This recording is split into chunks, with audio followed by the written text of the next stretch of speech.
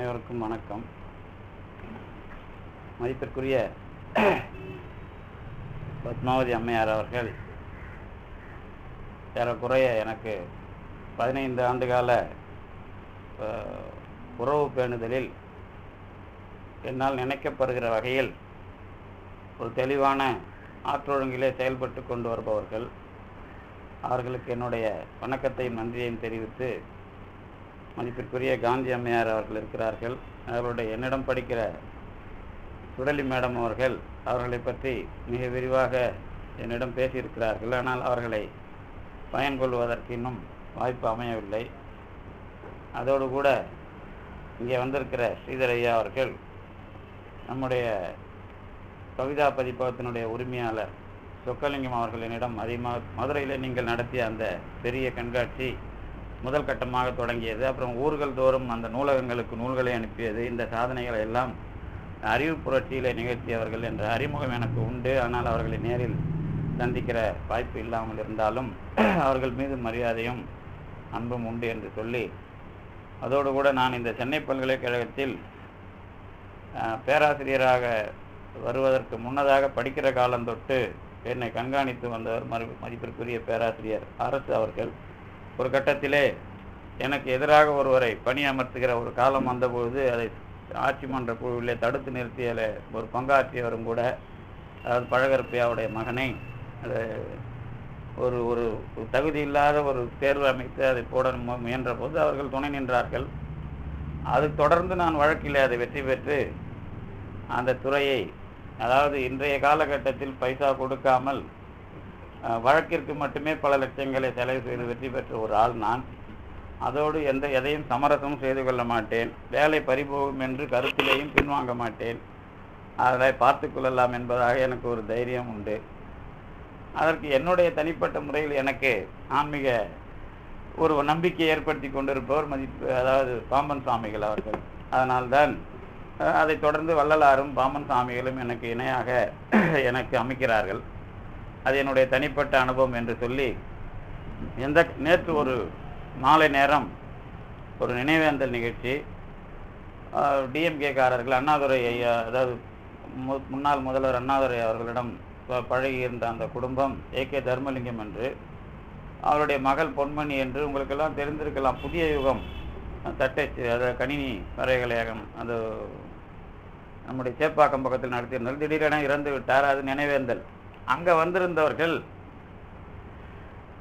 மார்க்சியம் அப்புறம் பெரியாரியம் தமிழ் தேச பொதுவுடைமை இது மூன்றும் சார்ந்தவர்கள் இருந்தார்கள். அதற்கு கொஞ்ச நாட்களுக்கு முன்னாடி செந்தில்நாதன் முற்போக்கு எழுத்தாளர் நம்முடைய ஐயா அவர்கள் வெளியிட்ட தேவாரம் ஒரு புதிய பாறை நூலிலேயும் நூல் வெளியீட்டு விழாவிலேயும் பேசினேன். பேசிய இந்த இடங்கள் எல்லாம் ஒரு சலசலப்புக்குரிய இடங்கள். அங்கே வந்து மதிப்பிற்குரிய நீதியரசர் ஒரு நம்ம ஜல்லிக்கட்டுக்கெல்லாம் பேசினார். பரந்தாம் ஹரி பரந்தாம் அவர்களும் பேசினார்கள். அதைத் தொடர்ந்து இறுதியாக ஜட்ஜி மகாதேவன் அவர்கள் பேசினார்கள். இருவேறு தலங்கள் இருவரும் இயங்குகிறார்கள். ஆனால் மகாதேவன் ஐயா எனக்கு நீங்கள் வந்திருந்தீங்களா அதுக்கு? மகாதேவன் ஐயார்கள் என்னுடைய கருத்தை ஒட்டி அமைக்கிறவர்கள். ஹரிபரந்தாமன் ஐயா அவர்கள் முற்போக்கை வச்சு அமைக்கிறவர்கள் இங்கே வந்த விவாதம் என்ன அப்படின்னா அதை வச்சே இதை தொடங்கினா நல்லா இருக்கும். அங்கே எதிரில் சத்தியவேல் முருகன் போன்றவர்கள் உட்கார்ந்துருக்கிறார்கள். உங்களுக்கு தெரிஞ்சிருக்கும்.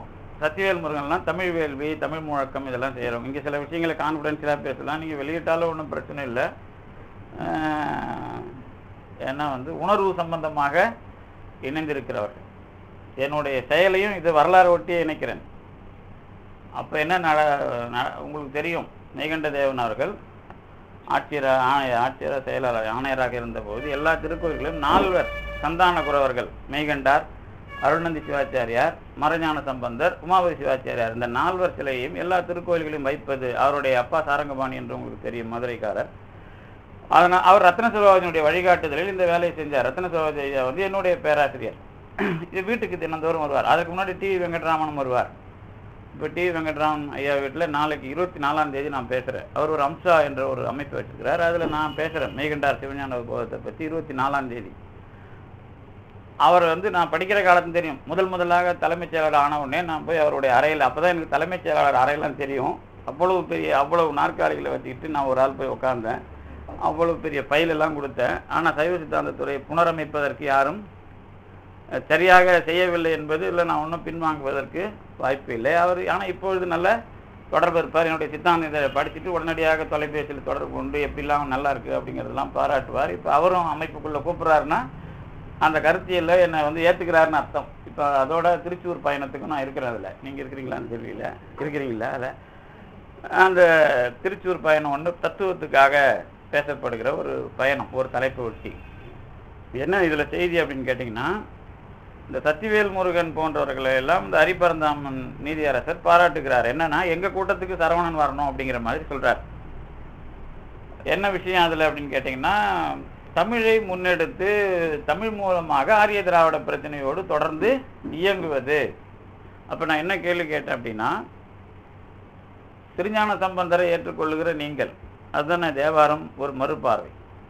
திருஞான சம்பந்தர் தமிழ் பேசினார் அந்த தமிழ் வேண்டும் என்று சொல்லுகிற நீங்கள் வேள்வியை தமிழ் செய்ய வேண்டும் என்று சொல்லுவது ஒரு தமிழ் தேசியத்துக்கு அடையாளமா? கருத்தியல் ரீதியாக வேள்வி தவறு என்று சொல்லிவிட்டு நீங்கள் வெளியே வர வேண்டும். அல்லது அதை ஏற்றுக்கொண்டால் தமிழே செய்வதற்கு ஒரு வழிமுறையை பின்பற்ற வேண்டும். அவ்வளவுதானே தவிர நீங்கள் எதிரினை வினையாற்றுவதற்கு அது எந்த வகையில் துணை போகும் அப்படின்னு ஒரு கேள்வி கேட்ட பிறகு தளத்தளப்பு வந்தது வீரபாண்டியன் அறிவில்லாதனமாக நான் நூலை படிக்கலன்னு பேசிட்டாரு. அப்புறம் என்னது? அதுக்கப்புறம் நான் கொஞ்சம் சொன்னேன். செந்தில்நாதன் அவர்களில் ஒரு நல்ல பண்பாளர். நானும் அவரை செம்மொழி மாநாட்டில் ஒரே அறையில் தங்கியிருந்தோம் அப்போ சொன்னேன் நான்.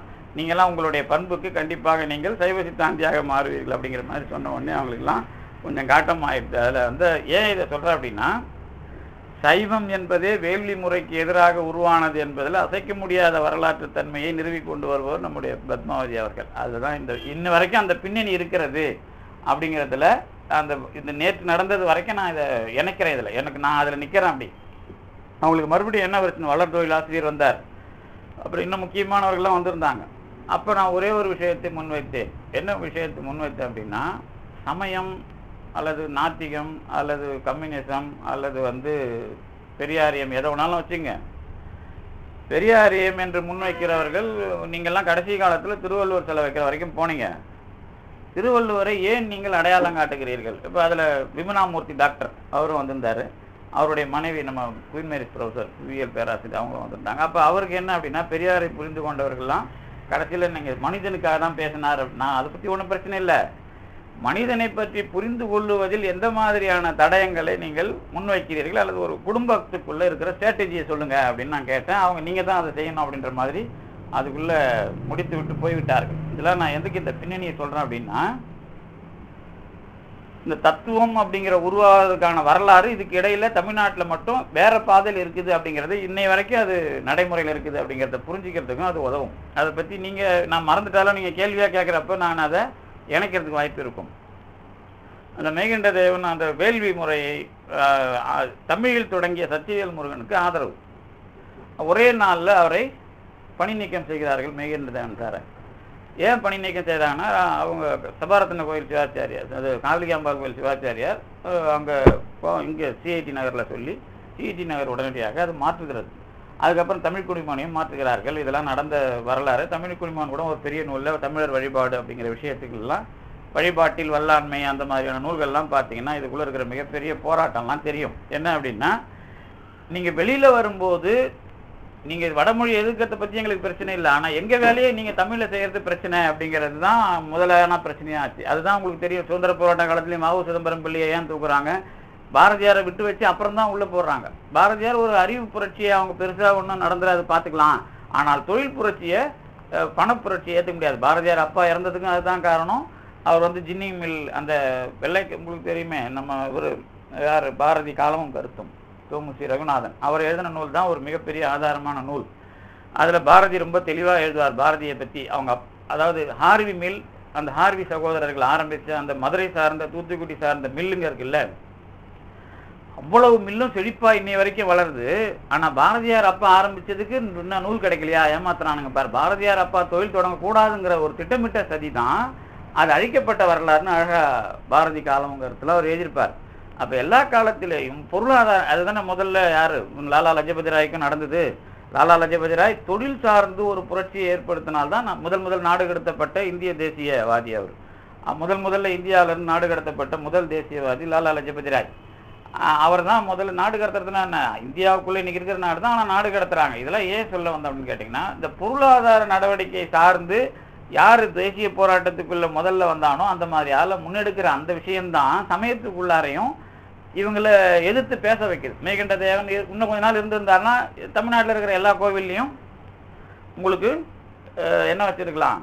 இந்த மாதிரி சிலையை வச்சுருக்கலாம் அல்லது மு- நான் இதுதான் வந்து நாம் பேசுகிறோம் ஆனால் நாம் ஆட்சிக்கு வரும்போது அது சம்பந்தமான கருத்தியல் ரீதியான பதிவுக்கு யாரும் வேலை பார்க்கல. இப்போ கலைஞரே இன்னைக்கு புலம்பிக்கிட்டு இருப்பாங்க. ஆனால் ஆட்சியில் இருக்கும்போது நான் எதில் கவனம் எடுத்து எந்தெந்த அமைப்புகளை நான் முன்னெடுக்க வேண்டும் அப்படிங்கிறதுக்குள்ள கவனம் இருக்காது. அப்போ தான் நாம் அது வெறும் அரசியலாத கூக்குறெல்லாம் பார்க்குறோம் அப்போ தான் நமக்கு கோபம் வருது. வேறு ஒன்று அது யாராக இருந்தாலும் நமக்கு அப்போ உங்களுக்கு தெரியும். இதுக்குள்ளே வந்து வெறும் ஓட்டு மறு அதாவது சாதாரண மக்களை ஏமாற்றுகிற ஒரு வேலையாகவே தொடர்ந்து இவங்க பண்ணுறது தெரியும். போன வாரம் கற்பூர சுந்தரபாண்டியன் ஐஏஎஸ் வந்தாங்க கணக்கம்பட்டிக்கு. அவர் அறநிலையத்துறையில் இருந்தார். கணக்கம்பட்டினா உங்களுக்கு பழனிக்கு பக்கத்தில் இருக்குது. அங்கே நான் சிறப்பு சொற்பொழிவாளராக வருஷ வருஷம் போவேன். இப்போ கணக்கம்பட்டிங்கிறது உங்களுக்குலாம் யாருக்காவது தெரிஞ்சிருக்குன்னு நினைக்கிறேன். பழனிக்கு ஆயக்குடிக்கு முன்னாடி இருக்கும். அது மிகப்பெரிய சித்தர் ஒருத்தர் இருந்த இடம். இருக்கிற இருந்து சமாதியாகி மூணாவது வருஷம் இந்த ஆண்டு குரு பூஜை. நான் போய் ஒவ்வொரு குரு பூஜையிலும் பேசுவேன். அங்கே எல்லாருமே க சீப்பால்ல இருந்து பெரிய பெரிய போலீஸ் ஆஃபீஸர்லேருந்து கற்பூர சுந்தர பாண்டியனுக்கு அவர் அந்த சித்தர் எப்படி ஹெல்ப் பண்ணார் அப்படின்னு கேட்டிங்கன்னா அம்மாவை பார்த்து பத்திரிக்கை கொடுக்க முடியாமல் அவர் ஐயாவுக்கு முதல்ல பத்திரிக்கை கொடுக்க போகிறாராம் அவர்கிட்ட நினைச்சாராம். அவர் ரெண்டு மூணு விஷயம் சொன்னார். அவர் அனுபவமாக உண்மையிலேயே அது. நீங்கள் ஏற்றுக்கிறீங்களா இல்லையான்றதை பற்றி எனக்கு பிரச்சனை இல்லை. ஒரு ஐஏஎஸ் பதிவு பண்ண விஷயமா நான் என்ன அங்கே பதிவு பண்ணேன் அப்படிங்கிறத சொல்ல வரேன். அவர் இடையில தான் மீட்டிங்குள்ளே வந்தார். இடையில தான் பேச ஆரம்பித்தார் அப்போ நான் என்ன சொன்னேன்? அவர் இதை பேசினார். அப்புறம் பத்திரிகை அவர் சித்தரை பார்த்துட்டு போன பிறகு அம்மாவுக்கு பத்திரிகை கொடுக்கறதுக்கு வாய்ப்பு கிடைக்குது. அம்மாவே நான் வந்து நடத்தி வைக்கிறேன்னு சொல்கிறாங்க இதெல்லாம் வீடியோ இருக்குது. ஒன்றும் நான் சொன்னதெல்லாம் பொய் கிடையாது. அம்மாவே நடத்தி வைக்கிறேன்னு சொல்கிறாங்க அதுக்கப்புறம் நடத்தி வைக்கிறாங்க. அப்போ கணக்கம்பட்டி சித்தருடைய சிஷியர் வந்து அவருக்கு பாம்பாட்டி சித்தர் படம் கொடுத்து ஆசீர்வாதம் பண்ணிட்டு போகிறார் இந்த வரலாறுலாம் சொன்னார். ரொம்ப மகிழ்ச்சியாக கை தட்டினாங்க. எல்லாம் முடிஞ்சுது. அப்புறம் தான் என் ரோல் ஒன்று எழுந்திருப்பேன். ஆனால் எனக்கு என்ன கடைசியாக போடுவாங்க. ஏன்னா கொஞ்சம் இந்த மாதிரி வேலைகளில் சிறப்புரையாக போடும்போது கடைசியாக தானே போடுவாங்க. அப்போ நான் எழுந்தேன் நான் சொன்னேன் சித்தர்களிடமும் போனால் எனக்கு என்ன வேண்டுமோ அதைத்தான் கேட்பேன். ஆனால் ராமேஸ்வரம் கோயில் மூத்திர நாத்தம் அடிக்கிறதே அதை யாரும் சரிவதை செய்வதற்கு ஆள் இல்லை அப்படின்னு போனவொடனே அவர் பாதியில் எழுந்து போயிட்டார்.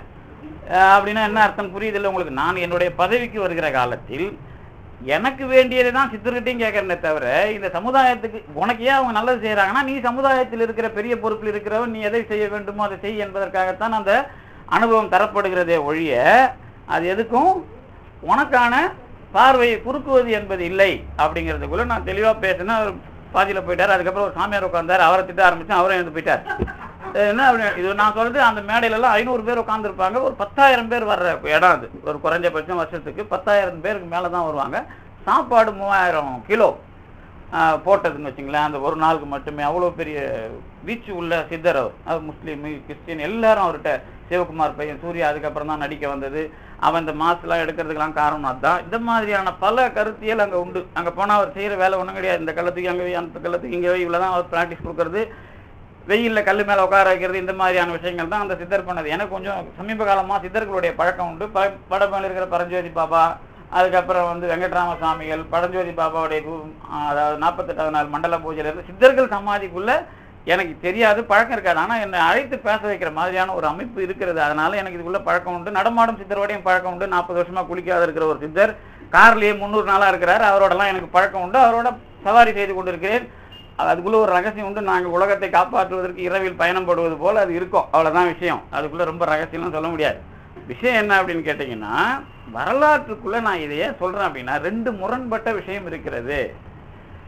ஒன்று என்னுடைய அனுபவம் சார்ந்து நான் எப்படி தெளிவுபடுவது. இன்னொன்று நான் அனுபவத்தை முற்றாக மறுப்பது எப்படி? இதுதான் க- தொடக்க கால சித்தாந்தத்திலிருந்து இன்றைய வரைக்குமான போராட்டம் இருக்குது. இதில் நான் பனாரஸ் இந்து யூனிவர்சிட்டிக்கு வேலைக்கு போனேன் பாரதியார் சேரில். காசியில் பாரதியார் இருந்த அதே வீட்டில் பாரதியார் கொடுக்காத வாடகைலாம் நான் கொடுத்துட்டு தான் வந்தேன் மூணு வருஷம். யாருன்னு தெரியுதா? பாரதியாரோட அத்தை கிருஷ்ணம்மா குப்பம்மா என்கிற அவங்க வீட்டில் தான் தங்கியிருந்தேன். நம்முடைய பாரதியாருடைய பேரன் இருக்கிறாரு தங்கச்சி பேரன் இருக்கிறாரு கிருஷ்ணன் சொல்லிட்டு கேவி கிருஷ்ணன். அதே வீட்டில் சங்கர மடத்துக்கு எதிர இருக்கிற சிவமடம் அந்த வீட்டில் தான் மூணு வருஷம் இருந்தேன். பனாரஸ் யூனிவர்சிட்டியில் வேலை பார்த்தேன். இது எதுக்கு இந்த விஷயத்தை நான் சொல்கிறேன் அப்படின்னு கேட்டிங்கன்னா இந்த இந்தியா முழுக்க நாம் கொஞ்சம் சுற்றுவதற்கு எனக்கு கொஞ்சம் வாய்ப்பு கிடச்சிது வாய்ப்பு கிடைக்கிறப்ப சில விஷயங்களை நான் அதுக்குள்ளே மாற்றிக்கிட்டேன் அங்கேருந்து இங்கே வந்து சென்னை பல்கலைக்கழகத்தில் வேலை வந்து முயற்சி இந்த சைவ சித்தாந்த துறையில் முதல் மாணவனாக நான் படித்தேன் எண்பத்தி ஒம்போதில் எண்பத்தி ஆறில் ஆரம்பித்த துறை. அவர் எம்ஜிஆர் தான் அதுக்கெல்லாம் காரணம். அவர் செஞ்ச வேலையை இன்னும் யாரும் செய்யலைங்கிற மாதிரி வரலாறு பேசுகிறது. ஏன்னா நிறைய விஷயங்களை அவர் தொடங்கி வச்ச விஷயங்கள் தொடர்ந்து முன்னெடுக்கப்படாமல் ஆனால் அவர் செஞ்ச விஷயம்லாம் மறுக்கப்படாமல் இருக்கிறதா நம்ம பார்க்குறோம் வரலாறுக்குள்ள. அதில் அது தொடங்குறது இந்த சமயம் சார்ந்த துறைகளை பிஆர் கோகுலகிருஷ்ணன் செஞ்சை வச்சு தொடங்குறார். அதில் எண்பத்தாறில் தொடங்கப்பட்டதுக்கு நான் முதல் ஸ்டூடெண்ட் எண்பத்தி எட்டில் நான் தான் அந்த ஸ்டூடெண்ட்னுடைய முதல் மாணவன். ஏ- நாலு ஆறு பேர் சேர்ந்தாங்க. அதில் நாலு பேர் ஃபீஸ் கட்டினாங்க. அதில் ரெண்டு பேர் ஃபஸ்ட் இயர் முடித்தாங்க செகண்ட் இயரில் நான் ஒருத்தன் தான் படித்தேன் தொடர்ந்து.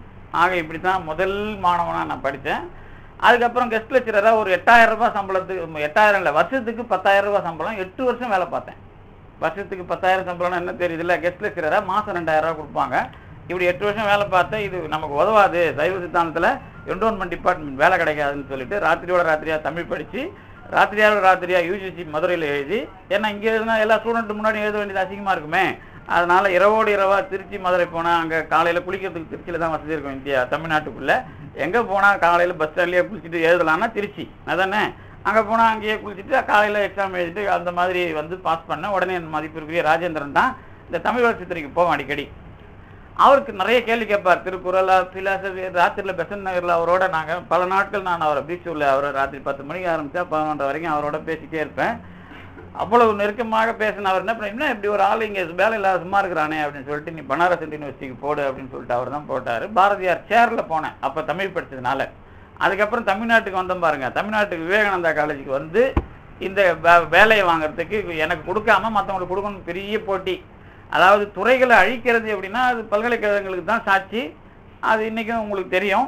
அதுக்குள்ளே நான் விடாமல் தெளிவாக சண்டை போட்டு அதுக்கப்புறம் இங்கே இருக்கிற விஷயங்கள் சில விஷயங்கள்லாம் செல்வாக்கெல்லாம் ஃபோனில் பேசி காசு கொடுக்காம வேலை ப்ரொஃபஸர் போஸ்ட்டுக்கு போயாச்சு. போன பிறகு என்ன அப்படின்னு கேட்டிங்கன்னா இது நாம் இப்படியே விடக்கூடாது. நாம் சம்பளம் வாங்குற ஒரு ஆளாக மட்டும் இருக்கக்கூடாதுங்கிறதுக்காக சென்னை சைவ அந்த பெருமன்றம் எனக்கு நான் ஒரு ரெண்டாயிரத்துலலாம் ஜென்ரல் செக்ரட்டரி நான் அதுக்கு. அது இந்த ஜாதி அது இதெல்லாம் போராட்டம் இருந்தது. எனக்கு வேலையே இந்த பொதுச் செயலாளர் பதவியே வேணாம் தூக்கி போட்டு விட்டுட்டேன். ரிசைன் பண்ணிட்டேன். ஆனால் யூனிவர்சிட்டிக்கு வந்த பிறகு இதுமே நாம் இது ஒரு பொது நிறுவனத்துக்கு வேலை செய்யணும்னா அதை விடக்கூடாதுன்னு ஒரு பொ- ஒரு பொதுக்குழுக்கு உள்ளே புகுந்து இந்த மாதிரி கேமரா வச்சுட்டாங்க. அப்புறம் போலீஸ் ஏசியை சொல்லி ஒரு நாலு போலீஸ் இறக்கிட்டாங்க. சரவணன் தகராறு பண்ணுவான்னு சொல்லிட்டு இருந்தாலும் தகராறு தெளிவாக பண்ணி அது ஒரே நாளில் கை கைப்பற்றினேன். அதை கைப்பற்றி தான் நூற்றி பதினோரு வருஷத்துக்கு சைவ சித்தாந்த பெருமான்றதுக்கு தலைவரான அதனால் எனக்கு எதுவும் எளிமையாக கிடைக்காது. அதை நான் சண்டை போட்டு தான் வாங்குறது. ஏன்னா உண்மையாக அதை ஜெய் சத்- ஜெயிக்க முடியும் அப்படிங்கிற ஒரு நம்பிக்கை எனக்கு. தொடர்ந்து இதுவரை நான் தோற்றது இல்லை ஏன்னா பிரச்சனைக்குள்ளே போய் பிரச்சனை வந்தால் தான் எனக்கு பூஸ்ட் மாதிரி. அதனால் வந்து நான் அதுக்குள்ளே தொடர்ந்து ஜெயிச்சு வந்திருக்கிறேன். அதனால் யார் தயவும் இல்லாமல் அதனால் நான் யாரையும் மதிக்கிறது இல்லை. அதனால தான் எனக்கு திருமுருகாற்றுப்படை மேலே ஒரு நம்பிக்கை உண்டு. திருமுருகாற்றுப்படையில் ஒரு நீயாக தோன்றிய பெறலரும் பரிசினை நல்குமதி அப்படின்னு ஒரு கொட்டேஷன் உண்டு. அதுதான் திருமுருகாற்றுப்படையோட இறுதி. அந்த திருமுருகாற்றுப்படையினுடைய இறுதி என்ன அப்படின்னா நிறைய பேர் நிறைய விளக்கம் சொல்லுவாங்க. வளருகிற காலத்தில் யார் தயவும் இல்லாமல் நான் வளர்ந்தேன் என்று ஒருவனே தன்னை சுயமாக சொல்லிக்கொள்ள வாய்ப்பு வருமானால் கண்டிப்பாக முருகன் தெரிவான் அப்படிங்கிறது அதுக்குள்ளே இருக்கிற அனுபவம். அதுக்குள்ளே நான் தொடர்ந்து ஜெயித்து கொண்டிருக்கிறதுனால சிவபெருமானை தாண்டி முருகன்கிற ஒரு அடையாளத்தினுடைய அனுபவமாக நான் அதை மதிப்பிட்டு கொண்டேன். இதுக்குள்ளே நீங்கள் யாரும் இதில் விமர்சனத்துக்கெலாம் வழி இல்லை கடவுளை ஒத்துக்கவே தேவையில்லை. அதை பற்றி எனக்கு பிரச்சனை இல்லை. கடவுள் இருந்தான்னா இல்லைன்னா நான் அப்படிங்கிறதுல ரொம்ப தெளிவாக இருக்கிற ஒரு ஆள் நான். அதனால் நான் எப்படி சொல்லுவேன் அப்படின்னு கேட்டிங்கன்னா கடவுளை நான் நம்பவில்லை. தினமும் கடவுள் என்னை நம்ப வைத்துக் கொண்டிருக்கிறார். அவர் இருக்கிறார் அவர் இருக்கிறேன்னு ஏன்னா நம்ம எவ்வளோ வாழ்ந்தாலும் ஐயோ இன்னைக்கு ஒரு பிரச்சனை வந்துட்டு பிறகு என்ன இந்த கடவுள் இருக்கிறானா அப்படின்னு சத்தியமாக சந்தேகம் வரும். ஆனால் ஒவ்வொரு கணத்திலேயும் அவன் இருக்கிறேன் என்று நம்ப வைத்தால் நான் நம்பிக்கொண்டிருக்கிறேன். அவ்வளோதான் என்னுடைய நிலைப்பாடே தவிர நீங்கள் யாரும் நம்பணுங்கிறது அவசியம் இல்லை. நானும் நம்பிக்கைக்குரியவனும் இல்லை. அதனால நீங்கள் கண்டிப்பாக நீங்கள் செய்கிற அதே வேலையை கடவுளை எடுத்து செய்ய நான் தயாராக இருக்கிறேன் அப்படிங்கிறதுல ஒன்றும் மாற்று கருத்தும் இல்லை. இது என்னுடைய தனிப்பட்ட வரலாறுக்குள்ளே இருக்கிற விஷயம். என்ன இப்ப நமக்கு இந்த சைவ சித்தாந்தம் இன்னும் ஏதாவது நான் என்னை பத்தி சொல்லணுமா? போதுமா? என்னுடைய இதுக்குள்ள என்ன அப்படின்னா குறைந்தபட்சம் இந்த சைவ சித்தாந்தம் அப்படின்னு நான் பேசுறதுக்கு முன்னாடி உங்களுக்கு தெரியும் நான் இலங்கையிலையும் போய் நிறைய வகுப்புகள்லாம் போய் அங்கே வந்து எடுத்துகிட்டு வந்திருக்கிறேன். இலங்கையில் ரெண்டாயிரத்தி பதினொன்றில் ஒரே டைம்லேயே மூணு முறை போயிட்டு மூணு பயிற்சி வகுப்புலாம் நடத்திட்டு வந்தேன். ஒரு நாளைக்கு குறைஞ்சது காலையில் பத்து மணிக்கு ஆரம்பித்தா சாயங்காலம் அஞ்சு மணி வரைக்கும் கிளாஸ் நான் ஒரு ஆள் தான் எடுப்பேன். ஒரு ஐம்பது பேர் உட்காந்துருப்பாங்க வந்து நடுவில் ஒரு மணி நேரம். இது தெரியும் உங்களுக்கு. இலங்கையெல்லாம் போய் கிளாஸ் எடுத்தீங்கன்னா நம்ம சாப்பிட போகும்போதும் கூட ஒருத்தர் வருவார். சாயங்காலம் அஞ்சு மணிக்கு அப்புறமா ஒருத்தர் வருவார். ஏறக்குறைய எட்டு மணி வரைக்கும் காலையில் பத்து மணிக்கு ஆரம்பிச்சா எட்டு மணி வரைக்கும் பேசிகிட்டே இருப்பேன். ஏறக்குறைய பத்து நாள் தொடர்ந்து நடக்கும். யாழ்ப்பாணத்தில் பத்து நாள் கொழும்புல பத்து நாள் எடுத்தேன். அது இல்லாமல் செமினாரில் நம்ம அப்போ தான் எனக்கு அந்த இவர் கிடைச்சார். இந்த சச்சிதானந்த சார். மேடலாம் அதுக்கப்புறம் போயிட்டு வந்துருக்குறாங்க. இந்த கொழும்புல வெளியிட்ட ஒரு சைவ சித்தாந்தம் அல்லது வந்து சைவ சமயம் அப்படிங்கிற ஒரு அறிமுக நூலை பார்த்தீங்கன்னா அதுக்கு முன்பகுதியில் சைவ சமயம் எவ்வளவு தொன்மை உடையதுன்னு எழுதியிருப்பாங்க. அதில் வந்து உலகம் முழுக்க சைவம் இருந்தது அப்படிங்கிறதெல்லாம் எழுதியிருப்பாங்க. அதுக்கு வேணுமானா அந்த அதனுடைய ஜெரக்ஸை நான் மேடங்கிட்ட கொடுக்குறேன். நீங்களாம் வாங்கிக்கிங்க. அதை பற்றி நான் விவாதிக்கிறதுக்கு எனக்கு தேவையில்லாத ஒரு வேலையாகவும் நான் நினைக்கிறேன். ஏன் அப்படின்னு கேட்டிங்கன்னா அது இன்னும் வரலாற்றில் தெளிவுபடாத விஷயங்களாக இருக்கின்றன. இந்த வரலாற்றில் தெளிவுபடாத விஷயங்களோட நாம் வந்து கருத்தியலை நிறுவுதல் என்பது எனக்கு உடன்பாடு இல்லாது. அதனால தான் மேடத்தை நான் விடாம ஏன் பிடிச்சிட்டு இருக்கிறேன் அப்படின்னா நீங்கள் வந்து வரலாற்று ரீதியான உண்மைகளை சொல்லுங்கள் அதுக்கப்புறம் நான் அதில் என் கருத்தை எப்படி இணைக்கிறதுன்னு பார்த்துக்கிறேன் அந்த வேலையை நான் அவங்கள வச்சு இப்போ போன வாரம் அவங்களால ஒரு சண்டையே வந்துச்சு. இவங்களுக்கு தெரியாது அது. போன வாரம் எனக்கு நான் அந்த சொற்பொழிலாம் பண்ணுறதை பார்த்து வருவாங்க நிறைய பேர். அதில் ஒருத்தர் வந்தார். ஐயா நீங்கள் கொஞ்சம் கண்ணொலி பயிற்சி எடுத்துக்கணும் வள்ளலார் மரபில் கண்ணொலி பயிற்சி ஒன்று இருக்குது காஞ்சிபுரத்தில் தனபால் அப்படிங்கிறவர் ஒருத்தர் பண்ணிட்டுருக்கார். அவர் என்ன பண்ணாருன்னா நீங்கள் வள்ளலார் கண்ணாடி வச்சு பார்க்குறாருல்ல ராமலிங்க சுவாமிகள். அந்த மரபை அவங்க வந்து வேறு டெக்னாலஜியாக வச்சுருக்கிறாங்க. நான் சொல்கிறது வேற. அவர் அதை டெக்னாலஜியாக வச்சு நம்மளை உட்கார வச்சு சில முறைகள் சொல்லிக் கொடுத்து கண்ணாடி எதிர வச்சு நாமளே அந்த மூணு ஜோதியும் பார்க்குற மாதிரி அவர் பயிற்சி கொடுக்குறாரு. ரொம்ப எளிமையாக அவருக்கு யாரை கொடுத்துக்கிறாங்க. இது கொஞ்சம் இன்னும் ஐயாவுக்கு நல்லா இருக்கும் கொஞ்சம் விஷன் அப்படின்னு சொல்லிட்டு என்னுடைய அடிப்பொடிகள் என்னை தள்ளிட்டு போகிறாங்க நான் பெரும்பாலும் இது உடன்பட மாட்டேன். ஆனால் நீங்கள் யாராவது சொன்னீங்கன்னா அதுக்காக நான் என்ன வேணாலும் அவமானம் வரட்டும்னு கூடவே போவேன். அது அது ஒரு பேட் கேரக்டர் என்கிட்ட. அதனால நிறைய ஏமாந்துருக்கிறேன்னு வச்சுங்களேன் அதில் இது ஒன்று நடந்தது. அது மாதிரி தான் நம்ம ஏமாறும் நம்ம வீக்னஸ்குள்ளே தான் நம்ம வாழ்க்கையில் பாடம் நமக்கு. அதுதானே நமக்கு. இது எனக்கு நிறைய உண்டு. அது மாதிரி போனேன். அவர் காலையிலேருந்து ஆரம்பித்தார் எல்லாருக்கும் ஒன்றும் தெரியாதெல்லாம் தெரியாத மாதிரி எல்லாத்தையும் படிச்சார். நிறைய பாட்டு குடும்ப கோஷம் அது இதெல்லாம் படித்து ரொம்ப டென்ஷன் பண்ணிட்டு இருந்தார். கடைசியில் என்ன சொல்கிறாருன்னா அவருக்கு மறைமலடிகள் வாயில் வரல. திருவிக்காலாம் வந்து மாணிக்க வாசகரை கிபி ரெண்டு மூணு எழுதுகிறாங்க இவர் வந்து ஐயா பேராசிரியர் சித்தாந்தத்தில் ஒம்பது எழுதிக்கிறாருன்ட்டார். நீங்கள் எழுதுனதை பற்றி ஞானப்பறையில் அவர் எழுதினாரா? அது சித்தாந்தம் வந்தால் என் பேர் தானே வரும். அப்போ அவர் சொல்லிட்டார். நான் கம்முன்னு தான் இருந்தேன். மூணாவது தடவை நேற்று வந்தவங்களாம் இந்த மாதிரி எழுதுறான் அப்படிங்கிறாரு. என்ன காரணர் பண்ணுறாரு நல்லா தெரியும் ஆனால் நான் பொறுமைனா அதை விடவும் என்ன ஒரு தடவை கடிகாசலம் சார் எப்போ போனாலும் கிள்ளிட்டே இருப்பார். ஒரு தடவை கடிகாசலம் சார் தான் உலக தமிழ் வந்துல சரி நான் ஒரு தடவை விட்டுட்டேன். அவர் நல்ல கீழே இருந்து இன்னும் வடு இருக்கும் இங்கே. போயா கிளிக்கே என்ன வேணும்? சதத்தானே வேணும் அப்படின்னு ஒரு தடவை விட்டேன். இன்னும் இங்கே வடு இருக்கும். பார்த்தீங்கன்னா தெரியும். அந்த அளவுக்கு நான் பொறுமைசாலி தான் இந்த எங்கள் இடத்துல அப்படி கிளினாருங்க. அந்த சத இன்னும் நான் யாராவது வேண்டி கைட்டி காட்டுவேன். அந்த கிளி நான் என்ன ஒரு கிளி கிளிக்கு அப்பப்போ குச்சி முட்டுவாங்க. நம்ம வெக்கப்படுவோம் ஒரு தடவை கிள்ளிக்கேன்னு விட்டா அவர் எவ்வளோ முடியுமோ அவளை கிள்ளினாரு. அங்கே ரத்தம் அந்த சதை எல்லாம் இன்னும் இருக்கும். அங்கே அந்த வடு இன்னும் இருக்கும். இது எதுக்கு நான் சொல்ல வரேன்னா இந்த மாதிரி மனிதர்களுக்கு இது சும்மா தானே மன வடு ஏற்படுத்தணும்னு அதிகமாக இருக்கிறானே வாழ்க்கையில். அதனால தானே சித்தாந்தம் வருது எனக்கு. இல்லாட்டா சித்தாந்தம் எனக்கு வராது. மன வடு ஏற்படுத்தின பிறகுதான் உங்களுக்கு சித்தாந்தம் வரும். புறவடுலாம் வராது. அது நம்ம நிறைய அது வாய்ப்பு வரும்போது கருத்தியெல்லாம் தெரிஞ்சுக்கணும்னா தெரிஞ்சுக்கலாம். ஆனால் அது தேவையில்லைன்னு வச்சுங்க இப்போதைக்கு.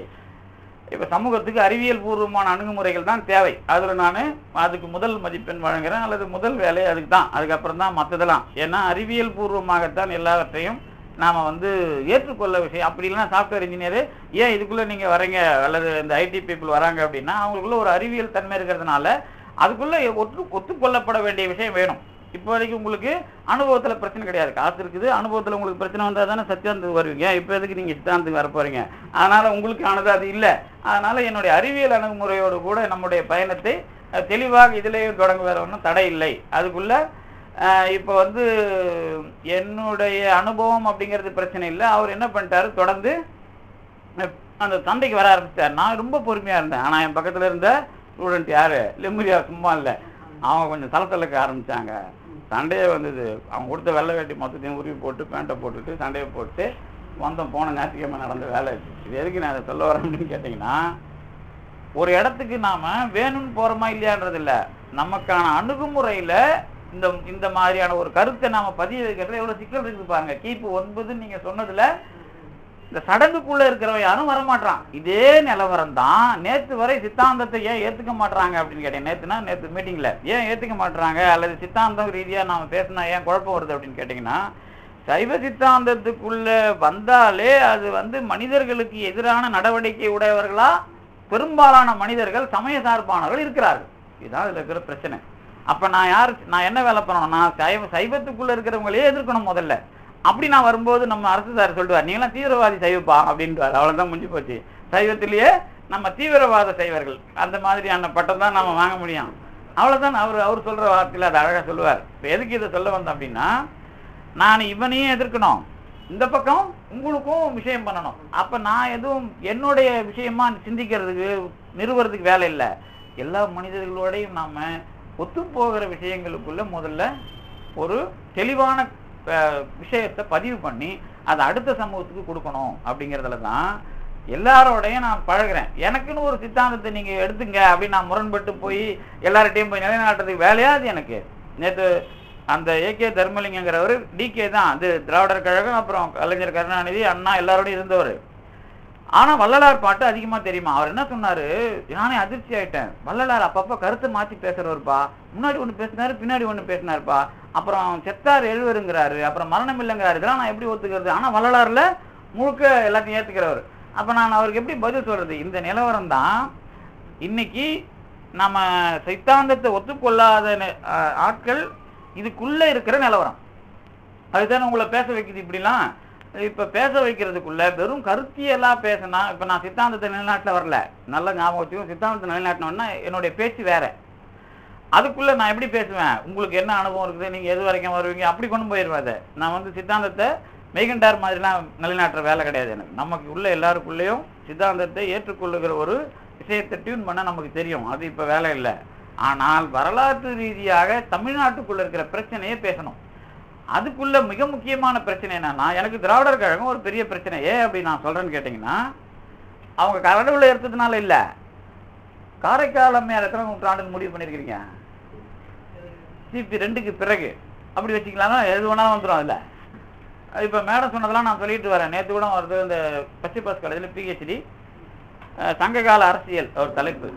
உங்களுக்கு வரப்போகுது நாளைக்கு வைவாது திங்கக்கிழமை. அதுக்கு நம்ம திண்டிவனம் காலேஜ் பிரின்சிபால் என் ரூமில் உட்காந்துட்டு வேறு வைவாவுக்கு பத்திரிகை கொண்டாந்து கொடுக்குறான் பையன். அவர் கேட்டார் சங்ககால அரசியல் போடுறிய பக்கத்தில் ஏதாவது ஒரு காலத்தை போட்டு தொலையன். அப்படி என்ன படிப்பு இன்னும் படிக்கிறீங்க? தெரியாதுன்னு கேட்டார். திண்டிவனம் காலேஜ் ப்ரொஃபஸர் அவர் பயோகெமிஸ்ட்ரி ஆனால் அவர் அந்த பையனை கேட்குறாரு ஏதாவது ஒரு காலத்தை போடுங்க சங்ககால அரசியல் போட்டால் கிமு அஞ்சு கிபு அஞ்சு. போடு எதையாவது. ஆனால் எதையுமே போடா கொடுத்தா இன்னும் முட்டாளா இருக்கிறீங்கன்னு அர்த்தம். அப்படின்னு ரொம்ப தெளிவாக கேட்டார்.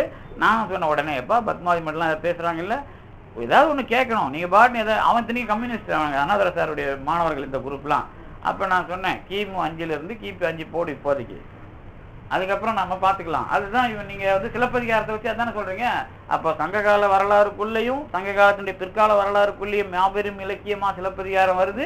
அதுக்குள்ளே கிமு அஞ்சிலிருந்து கிபி அஞ்சு வரைக்குமான செய்தி நமக்கு கிடைக்குதுன்னு சொன்னால் குறைஞ்சபட்சம் அது போகிறதுல ஒன்றும் தவறு இல்லையே. அப்படித்தானே? நீங்கள் சொன்னதை வச்சு தான் இதை நான் முன்னெடுக்கிறேன். அப்போ நான் அதுதான் அவனுக்கு சொன்னேன். இப்போ இதுக்குள்ளே ஏன் இதை சொல்ல வரேன் அப்படின்னா அந்த காரைக்கால் அம்மையார் தொடங்கி இப்போ வந்து பாம்பன் சுவாமி வரைக்கும் ஒரு ஆயிரத்தி அறநூறுலேருந்து ஆயிரத்தி எட்நூறு வருஷங்க. இதுக்குள்ளே என்ன இருக்குது? பௌத்தம் மறுபடியும் மோதலை கிறித்துவம் மோதலை இஸ்லாமிய மோதலை சமணம் மோதலை ஆனால் தொடர்ந்து இந்த காரைக்காலமையாருக்கு பிறகு வருகிற சைவ பதிவுகள் உங்களால் ஏன் முன்னெடுக்கப்படவில்லை? இதான் என் கேள்வி. அப்போ தமிழ் சமூகத்தில் ஒன்று இதை நீங்கள் ரொம்ப தெளிவா தூக்கி குப்பன் போட தயாரா நிறுவனம். அப்படி இல்லைன்னா இந்த ஆயிரத்தி அறுநூறு வருஷத்தினுடைய தொடர்ச்சியை முட்டாள்தனமாக நினைப்பது தவறா இல்லையா? இதுதான் என்னுடைய கேள்வி. இங்கிருந்து தான் நான் சித்தாந்தத்துக்கான ஆதரவை தொடங்குறேன் நான். சித்தாந்தத்துக்கான ஆதரவு என்னன்னா இப்ப மேடம் ஒரு இப்ப மூவா ஏன் வந்து கதை எழுத ஆரம்பிச்சாரு அப்படின்னா ஒரு வரலாறு இருக்குது அதுக்குள்ள. எப்பா நம்ம மூச்சை முட்டி வாழ்நாள் பூரா தூங்காம ஆராய்ச்சி பண்ணி எழுதுவோம். அடுத்து ஒருத்தன் டொப்புன்னு மாற்றி எழுதிட்டு போடுவான்பா. இந்த வேலை நமக்கு வேணாம் கதை எழுதுவோம். அப்பதான் மக்கள் மனத்துல தெளிவா இருப்போம் அப்படின்றத மூ முன்னெடுத்தார். உங்களுக்குலாம் தெரியும். இப்ப மேடம்லாம் எத்தனை நாளா உழைச்சிட்டு இருக்கிறாங்க? உங்களுக்கு தெரியும். திடீர்னு ஒருத்தர் பத்திரிகையாரன் வருவான். அவன் எடுத்து ஒன்று எழுதி போடுவான். அப்புறம் அவன் அதை பார்த்துட்டு உட்காந்துருப்பான் உங்களுக்கு நான் யாரை சொல்றேன்னு தெரியுதுன்னு நினைக்கிறேன்.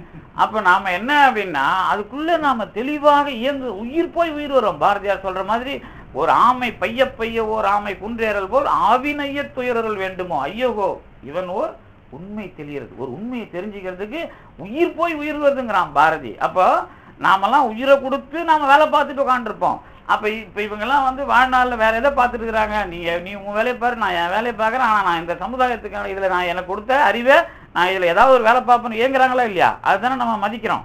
அப்போ இந்த மரியாதையை தான் நாம் இந்த சமூகத்தில் ஆயிரத்தி அறநூறு வருஷமாக வந்து மறுக்கப்படாமல் தொடர்ச்சி. இது நல்லா பிடிக்கணும் இதுவே வரலாற்று ஆராய்ச்சியோ அல்லது திறனாய்வுக்குள்ளேயோ மறுக்கப்படுகிற விஷயம் உண்டு. பௌத்தத்தை மறுத்திருக்கிறோம்.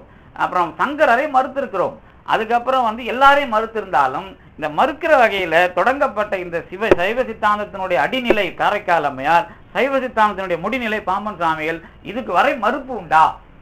இவங்களுக்குள்ள மறுப்பு இல்லை. அனுபவம் தப்பா இருந்தாலோ அல்லது தவறான கருத்தியல் இருந்தாலோ உதைச்சிருப்பானா இல்லையா அடுத்து வரவன்? ஆனா இதுக்குள்ள ஒரு கோஷ்டி வேலை பார்த்தது. ஒரே ஒரு கோஷ்டி அறிவாளிகள் கோஷ்டி யாருன்னா சோழகநல்லூர் சுந்தர சுவாமிகளும் டிபிஎம் யாரு? தெப்போமி.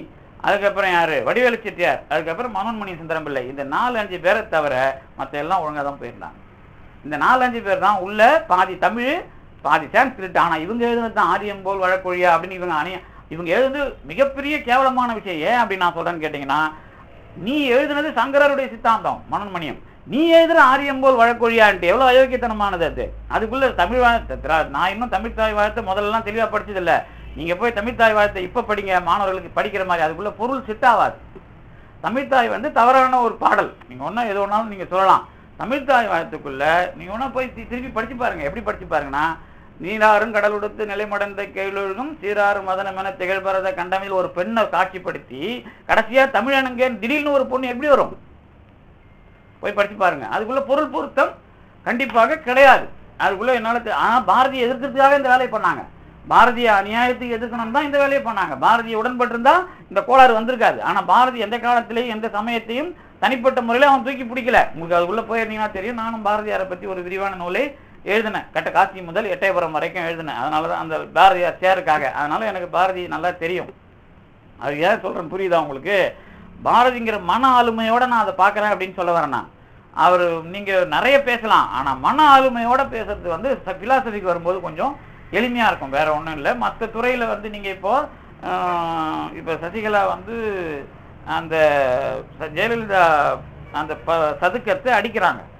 எப்படி சமாஜம் சொல்லக்கூடாதுன்றது தெளிவாக இருக்கிற புரியுதா? சதுக்கத்தை அடிக்கிறாங்க. அப்போ வந்து சதுக்கத்தை அடிக்கிறாங்க அப்படின்னு சொன்னால் அது நம்ம நாட்டில் சமாஜம் சொல்லக்கூடாதுன்னு நான் ஒரு கேஸ் போட வேண்டியதாக இருக்கும். இதுக்கு என்ன பண்ணுறது இந்த மாதிரி ஆமாம் யார் வார்த்தை அது? யார் யாரை பயன் நான் இதுக்குன்னு சொல்லலை. அண்ணா சமாஜி தொடங்கி சொல்ல வரேன் நான் அவ்வளோதான் அப்போ இதுக்குள்ள வந்து அடிக்கிறாங்க அப்படின்னா அதுக்கு பரோட்டாவா அல்லது எதுன்னு அந்த அம்மாவுடைய மனநிலை யாருக்கு தெரியும்? பேசி பாருங்க. அந்த அம்மா இவ்வளவு நாளாக நான் அந்த அம்மாவிட்ட அடிமையா இருந்தேன். இன்னைக்கு கூட சுதந்திரத்தை சுவாசி முடியல அடிச்சாங்களா? அதுவும் ஒரு உண்மையானத்தானே நீங்க அங்கே மீறி இருக்க முடியாது இல்ல அப்போ இந்த கோணத்துல பாருங்களேன். இன்னைக்கு கூட நான் அதை அனுபவிக்க முடியல அடிக்கலாம்ல அதை? அப்ப அவங்க ஆளுமை என்ன கேட்டால் பெருசு தானே? அப்ப ஏன் நீங்க வந்து அதை மறுக்கிறீங்க? அப்பயும் நான் கேட்க தயாராக இருப்பேன்ல? அப்போ அந்த மனநிலை வித்தியா ஏன்னா நாங்க வாத்தியார்கிட்ட எப்படி அடிமையா இருக்கிறோம் எங்களுக்கு தெரியும்ல? ஒரு பிஹெச்டி பண்றதுக்கு வாத்தியார்கிட்ட அடிமையா இருந்தாதான் இவன் வேலையை காட்டவே முடியாது. இவன் படிச்சு முடிச்சு வந்த பிறகு தான் இவன் அவருக்கு புத்தி சொல்ற மாதிரி எழுத முடியும். அது ஆட்சியாளர் இருந்தாலும் சரி பிலாசபி இருந்தாலும் சரி. ஏன்னா இன்னைக்கு இருக்கிற வாத்தியாருங்க பையனை கண்டுக்கிறதே இல்லை. நீ எதையாவது எழுதுனுவா நான் எதையாவது கையெழுத்து போறேன் ஒழி சொல்லலாம் ஆனா இதுக்கு முன்னாடி இருந்த சமூகத்தை நம்ம பாராட்டுறோம். அதுக்குள்ள ஆனா இவ்வளவு அடங்கி எங்களுடைய சுதந்திரத்தை காட்டாம? அந்த மாதிரி தான ஒரு பெரிய ஆளுமைங்க எல்லாரையும் அடக்கிற ஆளுமைங்க இருக்கிற ஒரு ஆளு எதுக்காக சகிச்சிருந்தாங்களோ அது இல்லை இல்லை அப்படி கூட நீங்க அதை பார்க்கலாம்ல. ஆனால் நீங்கள் வந்து அவங்க ஏன் அவங்க ஒரு அறிவிப்பு கூட பண்ணாமல் கூட இருந்தாங்கல்ல? எவ்வளோ எல்லா வேலையும் பார்த்தாங்கல்ல? ப- இத்தனை வருஷமா அவங்க குடும்பம் தானே எல்லாம் பா- நீங்கள் திருடுறது போ- அதெல்லாம் வேற சார். நான் கூட இருந்து எல்லாத்தையும் இதுக்காக தானே பண்ணேன். அப்போ அதை நான் வந்து பண்ணலைன்றப்போ எனக்கும் நீங்கள் தப்பு பண்ணீங்க மக்கள் அப்படிங்கிறதுக்காக அவங்களுடைய சைக்கலாஜி தப்பு தப்பு சொல்ல முடியாது. அப்போ ஒரு ஆளுமையா பாருங்க. எதை விட பெரிய ஆளுமையா தெரியுது அது எனக்கு. எனக்கு அது உண்மையான ஒரு ஆளுமையா தெரியுது. அதுக்குள்ள நீங்க வேலை வாங்கல. அவ்வளவுதான் விஷயமே தவிர அதுக்குள்ள நாம என்ன பண்ண முடியல? பயணப்பட முடியல. அப்போ அது அடிக்கிற போது அதுக்குள்ள அவ்வளவு எண்ணமும் இருக்கும். அப்படிதானே அதை நம்ம பார்க்கிறோம். இதுதான் சிலாசதி இந்த தத்துவ அணுகுமுறையை தான் நான் ஒரு தமிழ் சமூகத்துக்கு பின்னப்பட்ட ஒரு விஷயத்துக்குள்ள காரைக்கால் அம்மையார் எங்க வெளியே வராங்க? இப்ப நான் வந்து இலங்கையில இந்த வெளியிட்ட நூலை பத்தி ஜா- ஜப்பான்ல சிவன்ங்கிற சொல்லே இருக்குது. சிவன் ஒரு மாசமே இருக்குது. அதுக்கப்புறம் வந்து ஆஸ்திரேலியாவில் இருக்குது. ஆஸ்திரேலியாவில் இன்னைக்கும் பழங்குடி இருக்குது. அதுக்கப்புறம் உலக நாடுகள் பூ- அதாவது லிஸ்ட்டு மொத்த ஆமாம் ஜப்பான் மொழி தான் நமக்கு பொற்கோ இவங்க மனோன்மொழி சண்முகதாஸ் இவங்கெல்லாம் ஆராய்ச்சி பண்ணுறாங்கல்ல இதை கடந்து இதுக்குள்ளே இவங்க நிறைய டாக்குமெண்ட்டை போட்டிருப்பாங்க இலங்கைக்காரர்கள். இலங்கைக்காரர்கள் அதுக்குள்ளே ரொம்ப நாளாக பயணப்படுறதுனால அவங்க போட்ட டாக்குமெண்ட்டுங்கிறது ரொம்ப அதுக்குள்ள வந்து தன்னார்வம் இருக்கும். தன்னார்வம் என்ன? சமயத்தை முன்னெடுக்கிற ஆர்வம் இருக்கும். இது எல்லாருக்குமே இதுதான். ஆனா சிவலிங்க வழிபாட்டையே கேள்விக்குறியாக்கிறமான சிவலிங்கம் என்பதற்கே முருகன் தான் பேரு. அது பின்னாடி சிவனாக்குறாங்கன்னு என்னால சொல்ல முடியும். அதுக்கான வாதம்லாம் இருக்குது என்கிட்ட. சிவன் என்பதே முருகனுடைய பெயரை உல்டாவா மாத்துறது தான் சேயோன் என்பதை சிரிப்பாக சிவனாக மாற்றுகிறார்கள் அப்படிங்கிறது தான் சேயோன் என்பது கார்த்திகேயன் அப்படிங்கிற குமாரன் என்பது ரிக்வேத சொல்லு.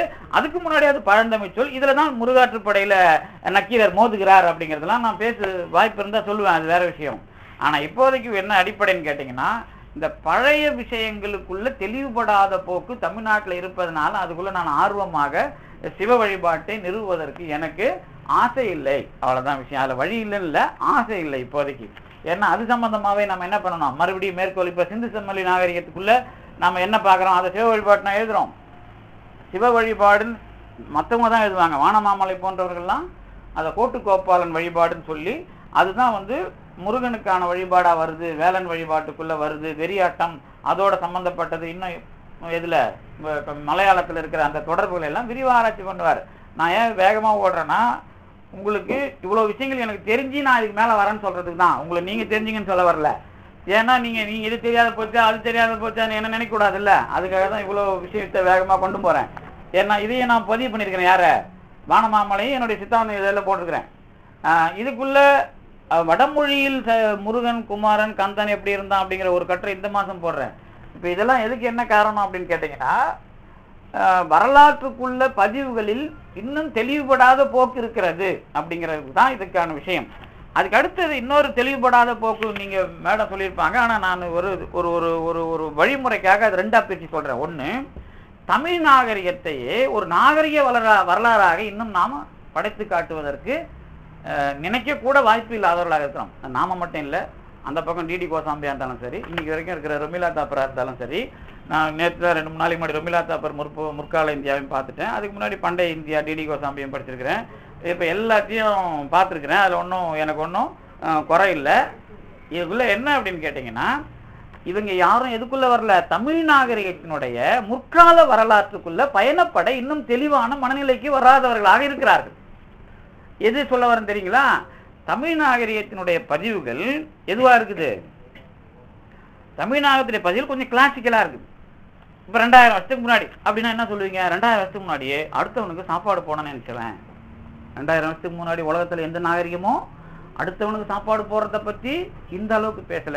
ரெண்டாயிரம் வருஷத்துக்கு முன்னாடி விலங்குகளுக்கு வைத்தியம் பார்த்துருக்குறான் அசோகர் இன்ஸ்கிரிப்ஷன் பன்னெண்டு ஆணையில ஒரு ஆணை விலங்குகளுக்கு இந்த ஆள் வைத்தியம் பண்ணியிருக்கானுங்கயா அப்படின்னா என்ன அர்த்தம்? அட்வான்ஸ் கல்ச்சர் அவ்வளோதான் அப்போ ரெண்டாயிரம் வருஷத்துக்கு முன்னாடி எல்லாத்துலயும் அட்வான்ஸான விஷயம் பதிவு பண்ணப்பட்டிருக்கிறது. இது முக்கியம்.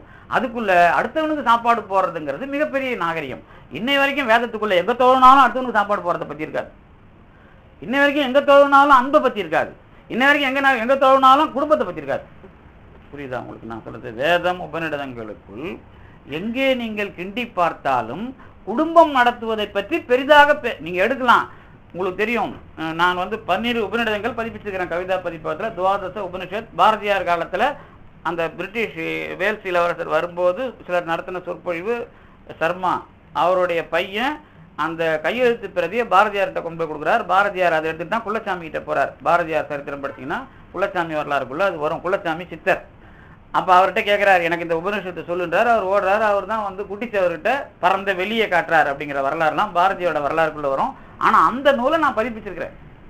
அந்த துவாதச உபநிஷத்து அப்படிங்கிறது ஏற்கனவே ப- அச்சில வந்த நூல். அது ரெண்டாவது இலங்கையில் கிடைச்சது. அது ரெண்டாவது பதிப்பாக நான் வெளியிட்டிருக்கிறேன். நான் இலங்கையில் கிடைச்சி வெளியிடாத ஒரு ஒரே ஒரு நூல் ஏன் அப்படின்னா தமிழ்நாட்டில் சோமசுந்தர நாயகர்னு ஒருத்தர் இருந்தார் மறைமலைகளுடைய ஆசிரியர். அவர் தான் இந்த திராவிட விஷயத்துக்குள்ள பாதிக்கப்பட்டு மொழி விஷயத்தை முதல் முதலில் முன்னெடுத்த ஒரு மிகப்பெரிய மாமனிதர். அவருடைய நூல்கள்லாம் ஒரு மூவாயிரம் பக்கத்தில் வரப்போகுது இன்னும் கொஞ்ச நாளில். நான் ஏற்கனவே அதை ஒரு பதிவு கொண்டு வந்திருக்கிறேன் ஆனால் இப்போ இன்னும் தெளிவான பதிப்பாக வருது. அவர்தான் முதல் முதல்ல அகர முதல எழுத்தெல்லாம்ங்கிற திருக்குறளுக்கு எழுதின உரையில் இதில் அகரம் என்பது மொழி முதலாக உடையது. வடமொழியும் இப்படித்தான் எழுதுனதுனால வந்த குறைவு தான் தமிழ்லாம் எங்களுக்கு தான் வந்தது? அப்படின்னு அன்னைக்கு இருந்த மொத்த வேதாந்திகளும் எழுதின ஒரு ஆயிரம் பக்கத்துக்கு மேலான கண்டனங்கள் அவரை சோமசுந்தர நாயரை போட்டு வைத விஷயங்கள் எல்லாமே ரெண்டு வாழையும் எனக்கு கிடைச்சிது. ஆனால் அது வெளியிடக்கூடாது. மறுபடியும் இப்படி ஒரு பிரச்சனை தமிழ் சமூகத்தில் வரக்கூடாதுங்கிறதுனால என் பையில பையில மட்டும்தான் அது இருக்குது. அதை நான் வெளியிட போவதும் இல்லை. ஏன்னா அது தேவையான வரலாறு இல்லை. நீங்கள் வாதாரத்துக்கு இப்போ என்ன வேலை இருக்குது? இப்ப வாதாரத்துக்குலாம் வேலை இல்லை. நீ வருபவனுக்கு உன்னுடைய வேலையை செய். அது அந்த சமூகத்துக்கு வந்துட்டு நாம இப்போ. ஏன்னா இது வந்து மறுபடியும் அரசியலாக்கி நீ ஒருத்தன் கும்ப நீ ஒருத்தன் கும்பலம் அடிக்கிறதுக்குலாம் எனக்கு வேலை இல்லை. எங்களுக்கு நோக்கி வருபவர்களுக்கு அது வடமொழிக்காரர்களாக இருந்தாலும் இன்றைக்கு அனுபவிக்கணும்னு வரணும்னா டெல்லியில அருணகிரிநாதர் சங்கம் இருக்குது. இன்றைக்கும் வந்து அந்தணர்கள் அல்லது ஐயர்கள் அல்லது பார்ப்பனர்கள் சொல்ற ஆளுங்க வந்து அருணகிரிநாதருக்கும் பாம்பனாருக்கும் வந்தாச்சு. அப்ப வேதத்தை தூக்கி பிடிக்கிறதை தாண்டி கடவுளை அனுபவிக்கணும் வர்றப்ப அவங்களுக்கு வேதத்துக்கு அப்புறம் அருணகிரிநாதர் வந்தாச்சு பாம்பனார் வந்தாச்சு. வள்ளலார் வேறலனாலும் பரவாயில்ல வள்ளலார்கிட்டையும் வந்திருக்கிறாங்க முஸ்லீம் முதற்கொண்டு ஆனால் இதுக்குள்ளே அனுபவத்துக்கு வரவனுக்கான கருத்தை ஒழுங்காக வேலை பாடுறான் நான் அரசியல் பார்க்கறதுக்கு உனக்கு என்ன வேலை இப்போ? அது எனக்கு உடன்பாடு இல்லை. அதனால் ரொம்ப தெளிவாக அதுக்குள்ளே நான் என்ன சொல்ல வரேன்? என்னுடைய இந்த சமூகத்தினுடைய ரெண்டாயிரம் ஆண்டுக்கான பதிவுகள் இருக்குல்ல குறைஞ்சபட்சம். குறைஞ்சபட்சம் தான் இது கூட. நீங்கள் கீழடிலாம் ஆராய்ச்சி பண்ண பிறகு இன்னும் முன்னோடிக்கு தள்ளலாம். அது வேற விஷயம். ஆனால் குறைந்தபட்சம் இந்த ரெண்டாயிரம் வருஷத்துக்குள்ளே இருக்கிற பதிவுகள் இருக்குல்ல இந்த ரெண்டாயிரம் வருஷத்து பதிவுகள்ல ரொம்ப தெளிவா குடுத்தன நடத்தத்தை பத்தி பேசுறான். அப்போ பலதார மனமுறையிலிருந்து ஒரு தார மனமுறைக்கு வருகிற இந்த இடைநிலைப்படியான வரலாற்றுக்கு இந்த தமிழ் நாகரிகத்தை எங்க நீங்க முன்னெடுத்து போறீங்க? தான் என் கேள்வி. எங்க முன்னெடுத்து போவீங்க? இதுக்கான தெளிவு இருக்கா? இது நினைச்சு பார்த்திருக்கீங்களா? நீங்க அப்ப நீங்க இங்கதான் என்ன பண்றீங்க? அவன் ஆரியன் யாரு? கிருஷ்ணனும் ஆரியனா ராமன்? அவன் கருப்பன்னு பேரு. கிருஷ்ணனாலும் கருப்பேன் ராமனாலும் கருப்பேன் காளிதாசனாலும் கருப்பேன் கபிலனாலும் கருப்பேன். காளிதாசனா ராம பெரிய கருப்பன் தமிழன் வச்சுக்கிட்டார். ஆனால் கருப்பங்கிறது தான் ஒரிஜினல் பேர் தமிழ்நாட்டுக்கு. ஆனால் வந்து கருப்பன் என்றால் காளிதாசனும் கருப்பன். அவன் ரொம்ப அழகாக பண்ணுறான் காளிதாசன். இந்த பழைய இந்தியாவினுடைய பூர்வகுடி வரலாறுல முருகனுடைய வரலாறை அதிகமாக எழுதியவன் குமார சம்பவம் காளிதாசன் என்னன்னு பண்றான்? தமிழ்நாட்டுல வந்துவிட்ட ஒரு பெண்ணுக்கான ஒரு வரலாற்றை நாம தமிழ்ல சாகு வட- யாரு? ஆ- சாகுந்தலத்தை ரொம்ப தெளிவா பதிவு பண்றான். சாகுந்தலத்தை தெளிவு பண்ற நோக்கம் என்ன? தமிழ் நாகரிகத்தில் பதிவுபடப்பட்டிருக்கிற அந்த ஒருவனுக்கு ஒருத்திங்கிற நாகரத்தை வடமொழிக்கு அறிமுகப்படுத்தியவன் யாரு? கருப்பன் என்கிற காளிதாசன். அப்ப அவன் தான் வந்து ராமாயணத்தை மீள்பதிவு கொடுக்குறான். எல்லாமே மீள்பதிவு யாரு? அதுக்கு முன்னாடி எல்லாம் குறைப்பதிவுகள் தான். குறைப்பதிவுனா என்ன? அதுக்குள்ள சிலாகிக்கிற விஷயம் நிறைய இருக்கும். அதுக்குள்ள பிரம்மாண்டம் இருக்கும். ஆனா பதிவுகளை வரலாற்றுக்குள்ள மறுபடியும் கொண்டு வர வேண்டும் என்று மிகப்பெரிய அளவில் பாடுபட்ட வணக்கத்துக்குரிய தமிழ் அதாவது தமிழ் நாகரிகத்தினுடைய தலைவனா நீங்க காளிதாசனை பார்க்கலாம் வடமொழிக்குள்ள. அப்படிதான் நான் பாக்குறேன் அவனை. அப்படிதான் சாகுந்தலத்தை அவன் படைத்து தருகிறான். அப்படிதான் நான் அதுக்குள்ள நினைக்கிறேன். ஏன் அப்படின்னா முருகனுடைய வரலாற்றுல முருகன் தமிழ்நாட்டுக்கு சொந்தமா வடமொழிக்கு சொந்தமான்னு கேஸ் போட்டீங்கன்னா வடமொழிக்கு தான் சொந்தம். ஏன்னா முருகனுடைய வரலாறு கந்தர்கலி வெண்பாவில தான் முதல்ல இன்ட்ரோடியூஸ் ஆகுது. மு- மு- முழுசா. திருமுருகாற்றுப்படையில சொல்ற முருகன் வேற. கந்தர்கலி வெண்பாவில் சொல்லப்படுகிற முருகன் வேற. கந்தர்கலி என்பவருக்கு பிறகுதான் கந்தபுராணம். இன்னும் ராமாயணத்துக்குள்ள ரொம்ப தெளிவா முருகனை பற்றி என்ன சொல்றாரு அப்படின்னா எப்போ எந்த கடவுளும் உனக்கு வரம் தர மாட்டாங்க. வரம் தரதுக்கு ஒரே கடவுள். சுவாமி அல்லது குமாரன் எனப்படுகிற அக்னி பூ இவன் தான் யாரு? ராமனுக்கு நீ வரம் தர்றதுக்குன்னு கடவுள்னா அவன் தான் ராமன் என்ன பண்ணாரு? ராமன் பண்ணது என்ன? மேடம் சொல்ற விஷயத்தை வச்சு சொன்னான். நம்ம பத்மாவதி அம்மையார் தான் மேடம் இப்போ வந்து இங்கே இப்போதைக்கு நான் சொல்றேன். எல்லாரும் நான் மேடம் தான் கூப்பிடுவேன். தப்பா நினைக்கிறேன் ஸ்டூடெண்ட்டையும் நான் அப்படி தான் கூப்பிடுவேன். நேற்று கூட ஒருத்தவங்க என்னோட சிஷியர் ஒருத்தர் மேடம்னா கோச்சிக்கிறாங்க. சார் என்ன எனக்கு பரம்பரை பழக்கமா அது. நான் மாத்திக்கலாம் முடியாது. அவ்வளவுதான். என்ன? அதுக்குள்ள ஏன்னா நான் எல்லாரையும் மேடம் கூப்பிட்டு தான் பழக்கம் எனக்கு. யாரையும் நான் அக்கா தங்கச்சி அப்படின்னா ஒரு சமயத்தில் அப்படி தான் கூப்பிடுவேன் நான். என்ன? மேடம் இங்கே வாங்கன்னு தான் கூப்பிடுவேன். இது எதுக்கு சொல்ல வரேன் அப்படின்னா இது எது விட்டுருங்க. இப்போ ராமாயணத்துல அவன் செஞ்ச முதல் வேலை என்ன? அவன் ரெண்டு வேலை தான் பண்ணான். முதல் வேலை சிவதனுசுவை உடைச்சிது. ரெண்டாவது வேலை வேள்வி செய்யற அந்தணர்களுக்கு பாதுகாப்பாக. இவங்க சொன்னாங்கல்ல நாத்திக சொல்லியிருப்பாங்களே நான் வேத நிந்தகா நாஸ்திகா. இதான ருத்ரனுடைய அடையாளம். இப்போ வேத நிந்தகனாகவும் நாத்திகனாகவும் இருக்கிற ருத்திரனை அழிப்பது ஒரே வேலை சிவதனுசுவை உடைக்கிறது. இது சைவ வைணவ போராட்டம் கிடையாது. வேள்விக்கும் கருத்தியலுக்குமான போராட்டம். இப்போ நீங்கள் ராமாயணத்தை எடுத்துட்டு சைவ வைணவ போராட்டம்னா ரொம்ப தப்பு. ராமாயணத்துக்குள்ள வேள்விக்கும் வேள்விக்கு எதிரான போராட்டமும். அப்படி பார்த்தீங்கன்னா தான் ராமன் என்கிற கருப்பனுடைய வரலாறுக்குள்ள அவன் எப்படி பயன்படுத்தப்பட்டான் அப்படிங்கிறது தெரியும். அவனுக்குள்ள தான் ஒரு பெரிய கண்டுபிடிப்பு நடந்தது. ராமனுக்குள்ள ஒரே ஒரு கண்டுபிடிப்பு. கிருஷ்ணனுக்குள்ள இல்லாத கண்டுபிடிப்பு ராமனுக்குள்ள எப்படி வந்தது? கிருஷ்ணன் முப்பதாயிரம் மனைவி சட்டப்படி மணந்தவன் அக்கார்டிங் டிடி கோசாம்பி அவர் வந்து என்ன சொல்றாரு? டிடி கோசாம்பி ரொம்ப தெளிவா முப்பதாயிரம் மனைவிகளை பெற்ற ராம் அந்த கிருஷ்ணன் தான் மிகப்பெரிய அறிவாளி உங்களுக்கு எனக்கு என்ன- என்னுடைய பார்வைப்படி ஒரு தொகுத்து சொல்லிடுறேன். மேடம் ஏத்துக்கிறாங்களா இல்லையான்றதுலாம். அப்புறம் தாய் வழி சமூகத்தை அழித்த க ரெண்டு பேர். ஒருவர் கணபதி. அது ரா- யாரு? தேவி பிரசாத் சட்டோபாத்தியா படிச்சீங்கன்னா அந்த விநாயகன் என்கிற கணபதி தான் குழுக்களினுடைய தலைவனாக இருந்து தாய் வழி சமூகத்தை அழித்தவன். இதுதானே தெளிவா? ரத்த காட்டேரி அவன் தானே. அவருக்கு தானே ரத்தத்தால்? அதுக்கப்புறம் அவர் கடவுளா வரதை பற்றி அவ்வையார் பேசினா நான் வேறு மாதிரி பேசுவேன். வித்தக விநாயக விரைகவன் சரணே அப்படின்னு சொல்கிறதுலாம் அது வேறு. கருத்தியலாக ஒன்றை நிரூபி அதில் கடவுளை கொண்டு வர்றது அப்புறம். அதுக்குள்ளே மிகப்பெரிய நாளைக்கு நாங்கள் வியாழக்கிழமை ஒரு நூல் வெளியிட போகிறோம் யோ சித்த யோக ஆய்வு மையம் சார்பில் அஹ், நீதியரசர் ஜோதிமணி வரார். அந்த அதில் வர்ற ஒரு நூல் அவர் வந்து விநாயகர் உபாசகர் அந்த சித்தர். சித்தர் Amarakavi Siddheswarar. Doctor Radhakrishnan doctor TMP Mahadevan இவங்கெல்லாம் அவர்கிட்ட போய் சரண்டர் ஆனவங்க. அப்படிப்பட்ட ஒரு பெரிய ஆள் அவர் சமாதிக்கு பிறகு அவர் நூல்கள் ஆங்கிலத்தில் எழுதப்பட்ட நூல்கள் தமிழில் வருது. அந்த நூலுக்கு நான் ஒரு முன்னுரை கொடுத்துக்கிறேன். அதில் விநாயகரை பேசும்போது வேறு மாதிரி பேசுவேன். அது கருத்தை மாற்றிக்கிறது இல்லை.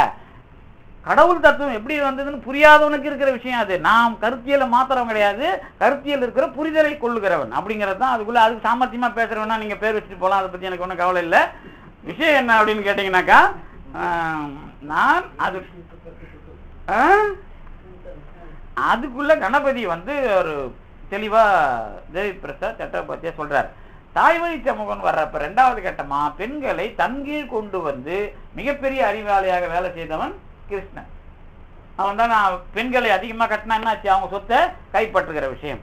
அதுக்கு பிறகு வர்ற ஈரா தான் ராமன் ஈரா. அவன் தான் ரொம்ப தெளிவா ஒருவனுக்கு ஒருத்திங்கிற ஈராவுக்கு சொந்தக்காரன். அதனால தான் நீங்க காசிக்கு போங்க வட இந்தியாவுக்கு போங்க கிருஷ்ணனை விடும் ராமனை தான். செத்த பிறகு ராம நாம சத்தியம். அதான் ஈரா. இன்ன வரைக்கும் மாற்ற மாட்டான். இன்ன வரைக்கும் பணத்தை ஆட்டோ மேலே பணம் இருக்கும் நாங்கள் கீழே ட்ராவல் பண்ணுவோம். அதுக்கப்புறம் பணத்தை கையில் தூக்குறான்னா ராமநாமம் சத்தியம். அப்படின்னா என்ன அர்த்தம்? குடும்பம் அப்படிங்கிற ஒரு வரைவியலுக்குள்ள ஒருதார மனைமுறைக்குள்ள வந்த அவன் ஒரு மிகப்பெரிய அதனால தான் நடையின் நின்றுயர் நாயகன்னு அவரை வந்து முன்வைக்கிறார் கம்பர். அவர் நடையின் நின்றுயர்னா ஒழுக்கத்துக்கு அடையாளமாக மாத்துறது அவரை. அப்போ ராமன் என்னன்னா அவன் சொன்ன ஒரே ஒரு முடிவு என்னன்னா நதியின் பிழை என்று நறும்புணல் இன்பை. அவன் சொல்லிட்டு சொல்றான் விதியின் பிழை நன்று நம்ம குற்றம். ஒழுங்கா வாழ்ந்தாதான்பா விதி தெரியும்னு அர்த்தம். விதி நான் என்னுடைய கொட்டேஷன் உண்டு செல்வம் செல்வாக்கு அதிகாரம். இந்த மூன்றினாலும் நீங்க எல்லாத்தையும் சாதிக்கணும். அங்க கடவுளை சொல்லக்கூடாது விதியை சொல்லக்கூடாது. செல்வம் செல்வாக்கு அதிகாரம். இது ரெண்டு மூணுத்துக்கும் அறிவு பயன்படும். அதுக்கு இன்னொரு பேர் சூழ்ச்சி. அறிவினுடைய அதிகபட்ச வித்தியா வேலை சூழ்ச்சி. அமெரிக்கா போன்ற நாடுகள் அதற்கு தெளிவான உதாரணம். அப்போ அறிவாளிகளாக இருக்கிற நாடுகளில் சூழ்ச்சி கண்டிப்பாக இருக்கும். திருவள்ளுவர் முதல் கொண்டு அதுக்கு ஒரு அதிகாரம் கொடுத்துருக்கிறார் சூழ்ச்சி அப்படின்னு சொல்லிட்டு. அதை நான் தமிழுக்கு வந்தால் ஆளுமைன்னு பேசுவேன் அது வேற. இப்போ சூழ்ச்சி என்பது தான் அறிவினுடைய உச்சகட்ச வேலை. உச்சபட்ச வேலை அறிவு மட்டும் இருந்தால் இதுதான் வந்து உங்களுக்கு வேதத்தினுடைய பாரம்பரியம் திரும்புது. சூழ்ச்சிக்கு மாறி தான் அப்புறம் மனு தர்மமாக அது மாறுது. அப்போ சூழ்ச்சி என்பது அப்போ என்ன அறிவாளித்தனம் என்ன பண்ணும்? இதுக்குள்ளே இருக்கும். இந்த அறிவாளித்தனத்தினுடைய போக்குக்கு எதிராக ஒரு சமூகம் பழக்கப்பட்டிருக்கிறது. அதுதான் தமிழிலே பதிவு பண்ணப்பட்டிருக்கிற அன்பை முன்னெடுத்த சமூகம். சிவஞான போகத்துக்கு உரை எழுதும் போது கூட சிவஞான முனிவர் அன்பை பத்தி மெய்கண்டார் சொல்லியிருந்தாலும் அன்பை பத்தி மெய்கண்டார் என்ன பண்றாரு? அயரா அன்பின் அரண்கடல் செல்லும் அத்து விதி அன்பின் தொழு. இதெல்லாம் மாலர நேயம் மலிந்தவர் வேடன். ரொம்ப தெளிவா சிவஞான போகத்தில் எழுதுறாரு யாரு? மெய்கண்டார் ஆனா சிவஞான முனிவர் சங்கரருக்கு எதிர்ப்பான ஒரு மனநிலையோட ஞானத்தை முன்வைக்கிறாங்க சைவ சித்தாந்தத்துக்கு அப்ப போக்கை மடை மாற்றுகிறார். ஏன்னா அப்ப இருக்கிற ஃபேன்சி இதுக்கு பேர் நான் ஃபேன்சின்னு வைப்பேன். ஃபேன்சி அல்லது இந்த இன்னொரு ஃபாஸ்ட் ஃபுட் அப்படி வைக்கலாம். அது ஃபாஸ்ட் கான்செப்ட் அப்படி நீங்க அதுக்குள்ள வைக்கணும். ஒரு ஒரு ஒரு காயின் பண்ணணும். ஃபாஸ்ட் ஃபுட்டுங்கிற மாதிரி ஃபாஸ்ட் கான்செப்ட் அதுதான் வந்து சிவஞான முனிவரும் கூட ஆனால் ஆனா சிவஞான முனிவர் இல்லைன்னா சைவ பேச முடியாதுங்கிறது இன்றைய நடைமுறை. அது வேற. நாம் பேசும்போது அதை மாத்துறதுக்கு நாளாகும். அதே மாதிரி ஃபாஸ்ட் கான்செப்டுக்குள்ள தான் சோடகநல்லூர் சுந்தர சிவாச்சாரியார் அப்புறம் வடிவேலு செட்டியார் சிபிஎம் அப்புறம் யார்? சொன்ன மனோன்மணி சுந்தரம் பிள்ளை. இப்போ இவ்வளவு பெரிய போராட்டங்கள் இல்லாமல் இருந்தவங்க தான் இந்த திருக்குறள் திருக்குறளை கூட நான் இப்போ சொல்ல மாட்டேன். யார் தொடங்கி? காரைக்காலமையார் தொடங்கி பாம்பனார் வரை. இந்த ரெண்டாயிரம் வருஷத்துக்கு முன்ன இந்த நான் முன்னெடுத்தேன்ல இப்போ. யாரு? வேதம் இந்த மரபெல்லாம் சொன்னேன்ல. இந்த வேத மரபுக்குள்ள துவாதச உபநிஷத்துக்குள்ள நான் பன்னெண்டு உபநிஷத்தையும் படிச்சதுல ரொம்ப அழகா குடும்பம் நத்தத்தை பத்தி வராது. ஆனா குழந்தை பெற்றுக்கிறத பற்றி வரும் நீ தயிர் சாதம் சாப்பிட்டா பழைய சாதம் சாப்பிட்டா தான் சத்துவ குணம் உள்ள குழந்தைய பெற்றுக்கலாம்னு சொல்லியிருப்பாங்க. எந்த சாப்பாடை சாப்பிட்டு நீ எந்த மாதிரி இருந்தா எந்த குணமுள்ளைய குழந்தையை பெற்று வேதம் நீ படிக்கலாமா கூடாதான் முடிவு பண்ணு. இவ்வளவுதான் சார். அதுக்குள்ள நீங்க போயிட்டு பாருங்க. துவாதச உபநிஷத் கவிதா பதிப்பகத்துல நான் போட்டிருக்கேன். நல்லா பிரித்து படிக்கிற மாதிரி தான் போட்டிருக்கேன் படித்து பாருங்கள் இது ஏன் நான் சும்மா முன் வைக்கிறேன் அப்படின்னு கேட்டிங்கன்னா சில பேர் என்கிட்ட வாதத்துக்கு வருவாங்க. இப்போ நாம் வந்து என்கிட்ட வயசானவங்களும் படிக்கிறாங்க ஐயரும் படிப்பாங்க செட்டியாரும் படி எல்லாம் படிப்பாங்க. ஆனால் சில பேர் அவங்கவுங்க அவங்கள முன்னிறுத்துறதுக்கு எல்லாருக்கும் சொல்லுவோம்ல. இப்போ நம்ம தமிழில் கூட எல்லாருக்குன்னு ஆர்வ கோளாறுல சொல்லுவோம்ல. அந்த மாதிரி எல்லாரும் அதை சொல்லுவாங்க. நான் அதுக்குள்ள உடன்படுறதில்லை ஆனால் பெரும்பான்மையாக ஏன் வந்து வேதத்துக்குள்ளே இது இருந்தால் சங்கரர் அதை முன்னெடுக்கவில்லைன்னு கேட்பேன். ஏன் வந்து ராமானுஜர் இப்போ நீங்கள் ராமானுஜர் ஆயிரம் கொண்டாடுறீங்க? ராமானுஜர் வரலாறு மேடம் எப்படி சொல்கிறாங்க எனக்கு தெரியாது. ஆனால் ராமானுஜர் வரலாறுக்குள்ளே அவர் போய் காஷ்மீரில் திருடிட்டு வந்ததெல்லாம் எங்களுக்கு எல்லாம் தெரியும். காஷ்மீரில் வந்து நீலகண்ட பாக்கியத்தை திருடிட்டு வந்தது. அதுக்கப்புறம் அந்த திருடிட்டு வந்தது அவங்க துரத்திட்டு வராங்க. இங்கே வந்து துரத்தும் போது சிஷியன் வந்து கிட்டேருந்து பிடிங்கிட்டு வர்றாங்க சிஷியன் கேட்குறான் கு- சிஷியனை போய் திட்டுறாரு அவர். ஏன்டா விட்ட? அப்படின்ட்டு இல்லத்து குருவே நான் கொஞ்சம் படிச்சுட்டு அதை வச்சு எழுதிக்கலாங்கிறான் அவன். இந்த மாதிரி தான் பிரம்ம இது ராமானுஜருடைய பாஷ்யம் வருது. அந்த ராமானுஜருடைய பாஷ்யத்துல பிரம்மணனாய் பிறந்தால் தான் பிரம்ம ஞானம் அடைய முடியும்னு தெளிவாக இருக்குது. அவர் சந்தர்ப்பவாதத்துக்காக தலித்துகள்கிட்ட போய் உள்ளே போனார். திருவாவூர் கொஞ்ச நாளுக்கு முன்னாடி சாமி போலியா அந்த மாதிரி கொஞ்ச நாளுக்கு முன்னாடி அது சந்தர்ப்பவாதத்துக்குள்ள மக்களிடம் போய் அதை பண்ணுவாங்க. ஆனால் ஓட்டு வாங்குறதுக்கு மறுபடியும் இதே வேலையை திருக்குறளை விட்டுட்டு மறுபடியும் ராமானுஜரை நம்ம தூக்கி பிடிச்ச ஆளுங்களை நம்மகிட்ட எப்படி இருக்கிறாங்கன்னு உங்களுக்கு தெரியும். அதுதான் நான் செல்வம் செல்வாக்கு அதிகாரங்கிறதுக்குள்ள தெளிவாக பேசினேன்.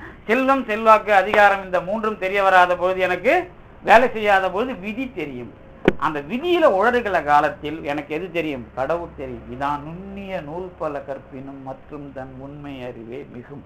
திருக்குறள்ல ஊழ் அதிகாரத்தை பாருங்க. அதுக்குள்ள ரெண்டு முன்னாடி ரெண்டு அதிகாரம் வைக்கிறாரு. மெய்யுணர்தல் ஊழ் அப்புறம் அவாறுத்தல். இந்த மூணு அதிகாரம் மூணு சேர்த்து வச்சிருப்பார். அவாறுத்தல் ஊழ் மெய்யுணர்தல். இந்த மூணுக்குள்ள கிளப் பண்ணி பார்த்தீங்க அப்படின்னு சொன்னா திருக்குறளுக்குள்ள பௌத்தம் இல்லை சமணம் இல்லை. திருக்குறளுக்குள்ள சைவ சித்தாந்தம் இல்ல ஆனா சைவ சித்தாந்தம் பின்னாடி சொல்ற அந்த விஷயம் அதுக்குள்ள இருக்கு. அப்படிதான் நான் அதை பார்ப்பேன். கரெக்டா புரியுதா அப்ப அது? திருக்குறளுக்குள்ள என்ன இருக்குது? சைவ சித்தாந்தம் என்ற கொள்கை இல்லை. ஆனால் பௌத்தம் என்ற நூலாகவும் அவர் அதை பேசவில்லை. ஆனால் சமணம் என்ற நூலாகவும் அவர் அதை பேசவில்லை. ஆனால் அந்த காலத்தில் பௌத்தத்தை சமணத்தை முன்னெடுக்க வந்தவர்கள் இங்கிருந்த பெண்களை கையில் எடுக்கிறார்கள். நல்லா பார்க்கணும். இந்திய சமூகத்துக்குள்ள யாரும் பொம்பளையை முன்னெடுக்கல. தமிழ் சமூகத்துக்குள்ள வந்து ஏன் பொம்பளை பேர் வைக்கிறான்? சும்மா ஏன் அந்த மாதிரி ஏன் சொல்கிறேன்னு தெரியுதா பொம்பளைன்னு? கொஞ்சம் தைக்கணும் அப்படிங்கிறதுக்காக. ஏன் பெண்களை முன்னெடுக்கிறார்கள் என்றெல்லாம் நீங்கள் மைண்டுக்குள்ளே வரமாட்டீங்க. அப்போ கொஞ்சம் உங்களோட டச் ஆகணும்ல. இது ஒரு டெக்னாலஜி அதுக்காக தான் நான் அப்படி பேசுகிறேன் யாரும் கோச்சிக்காதீங்க. அப்போ ஏன் பெண்கள் பெயரை முன்னெடுக்க வேண்டும்? இந்திய சமூகத்தில் மட்டுமல்ல உலகத்தில் சமயத்தை பரப்பிய சமணர்களோ அல்லது பௌத்தர்களோ ஏன் வந்து அந்த விஷயத்தை முன்னெடுக்கல? நம்ம பத்மாஜம்மா சொல்லுவாங்க ஒருத்தன் ஆட்சியை பிடிச்சான் ஒருத்தன் வியாபாரத்தை பிடிச்சான் அப்படின்னு. தெளிவா. கரெக்ட் தானே அது? பௌத்தர்கள் ஆட்சியை பிடிச்சார்கள் சமணர்கள் வியாபாரத்தை பிடித்தார்கள். அப்படிதானே அவங்க முன்னெடுக்கிறாங்க. அப்படிதான் இன்னி வரைக்கும் ஸ்டேட் வரைக்கும் நம்ம மோடி வரைக்கும் அப்படித்தானே போயிட்டு இருக்குது குஜராத் வரைக்கும் அப்படித்தானே போயிட்டு இருக்குது அதனால தானே வியாபாரிகளுக்கு துணை போகிறாங்க அதில் ஒன்றும் பிரச்சனையே இல்லையே நமக்கு. ஏன்னா அந்த கருத்தியல் அது ஜீனுக்குள்ளே ஊறுது. அப்படி இல்லைன்னா அது வராது இல்லை அப்போ வந்து நான் வந்து அப்போ சீன ஏன் பௌத்தத்துக்கு ஒரே இனம் இரண்டு மொழி பேசிய இனம்? பௌத்தத்துல பாரதி ரொம்ப தெளிவாக எழுதுவார். பௌத்தத்துல பாரதி தான் ரொம்ப தெளிவாக யார்? இலங்கையில் இருக்கிற இரண்டு ஒரே இனம். மொழி பே- வேறு மொழி பேசுகிற ஒரே இனம். அப்படித்தானே நம்ம இலங்கையில் இருக்கிற ரெண்டு பேரையும் பார்க்குறோம். சிங்களவர்களும் தமிழர்களும் ஒரே இனம். ஆனால் இரண்டு மொழி பேசுகிறவர்கள். அது நான் எனக்கு நல்ல எனக்கு அதில் உடன்பாடு உண்டு. உங்களுக்கு தெரியும் பாடலிபுத்திரத்தினுடைய மிக பட்னா என்கிற நான் நீங்களாம் போயிருக்கீங்களா? ஒரு தடவை போகணும் மேடம் நீங்களாம். எனக்கு ரொம்ப பிடிச்சது. நான் நாங்கள் காசியில் வேலை பார்த்தனால அம்மா அப்பா கூட்டிகிட்டு வச்சு வார வாரம் இந்த ட்ராவலில் போவோம். அப்போதான் எனக்கு அது ரொம்ப பிடிச்சிருந்தது. இந்த என்ன ராஜ்கீர் என்கிற நம்முடைய மூதாதைகள் அந்த ராஜகிருகம் இவங்க நீங்கள் போனீங்கன்னா ஒரு திமிரே உங்களுக்கே வரும். அப்படி ஒரு நாலு மலைக்கு நடுவில் போய் அலாதி. ஆனால் இன்னைக்கு எல்லாமே பௌத்தர்களுடைய கோயிலாகவும் அந்த ராக்கெட் மாதிரியான பயன்பாடுகளாகவும் தான் இருக்கும். அப்போ வந்து அதுக்குள்ளே போய் நின்னீங்கன்னா அந்த அந்த அந்த அஜாத சத்ரு அவனுடைய பிம்பிசாரனை ஜெயிலில் வச்ச இடத்துல இருந்து எல்லாத்தையும் நீங்கள் முதல்ல அப்படி நின்று ரசிச்சிங்கன்னா நம்முடைய பழமையான உணர்வுக்குள்ளே நீங்கள் லைக்கலாம் அது போயிட்டு வாங்க. அதுக்கு நாலந்தா போனீங்கன்னா தெரியும். பக்கத்தில் நாலந்தா எப்படி இருந்தது? அந்த இன்னைக்கும் அதுக்குள்ள போனீங்கன்னா குளிரும் வராது வெயிலும் வராது. அப்படி ஒரு அழகா கட்டியிருப்பான். நீங்க போயிருந்தா பார்க்கலாம். அந்த செங்கல்லால கட்டப்பட்டு அந்த அறைக்குள்ள போனீங்கன்னா இந்த காலத்து ஜெயில் மாதிரி இருக்கும். ஆனா அந்த காலத்துல அது எதுக்கு அப்படின்னா அந்த காலத்துல அது எதுக்குன்னு கேட்டினா குளிரோ வெயிலோ வரக்கூடாது. அதுக்குள்ளே அதுக்குள்ள நீங்க அவன் அவன் சாப் நீலகண்ட சாஸ்திரி தான் வரலாறு தென்னிந்திய வரலாறு எழுதுனது. அவர் ரொம்ப அழகா எழுதுவார். அங்கே போடப்பட்ட அரிசி முகவாசன்னமான அரிசி. அதுக்கு அந்த ஊருக்கே வாசனை வரும். நான் பனாரஸ்ல இருக்கிறப்ப கிச்சடி அந்த அது என்ன பிரியாணிக்கு அரிசி போடும் அது என்ன பாஸ்மதி தான் சாப்பிடுவேன் ஏன்னா அங்கே விலை குறைஞ்சது. பல ஐட்டம் இருக்கும். அது நல்லா அந்த ஏரியாவுக்கே வாசனை வரும். அங்கே எனக்கு அது சீப்பாக கிடைக்கும். அதை வாங்கி சாப்பிடுவோம் நான் அது அவன் சொல்றது என்னன்னா மகா சன்னமான அந்த அரிசிக்கு பேர் மகாசாலா. அந்த மகாசாலா தான் இன்னைக்கு வாசனை பவுடருக்கு மசாலான்னு ஆச்சு.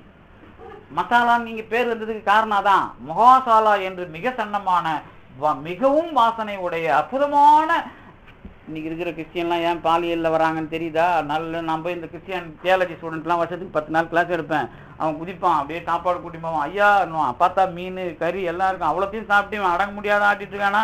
எப்படி இவன் வந்து கெட்டு போகிறான் சமூகம் கெட்டு போகுதுன்னா அப்போ நம்ம உணவு முறையில் பிரச்சனை இருக்குதா இல்லையா? அப்போ வந்து இதே விஷயம் தான் மகாசாலாவுக்குள்ளேயும் இருக்குது அப்படிங்கிறது என்னுடைய செய்தி. அது எதனால தான் அவன் முரண்டு அரசியலை ஏன் பிடிக்கிறான்னு தெரியல அரசியலுக்குள்ளே ஏன் அப்படி வரான்னா அந்த உணவு முறைகளுக்குள்ளே நாம் அத ம- நமக்குள்ள இருக்கிற அந்த விஷயம் இன்னைக்கு நேத்து இல்ல. சங்க இலக்கியங்களிலேயும் நாம உண்டி கொடுத்து ஒரு உயிர் கொடுத்தாரு அப்படின்னு குடப்புலவினார் அஹ், பாண்டியன் நெடுஞ்செயனுக்கு கொடுத்தது பன்னாடி மணிமேகலைக்கு வியாபாரத்துக்கு நாம டைட்டிலா கொடுக்குறோம் அதை.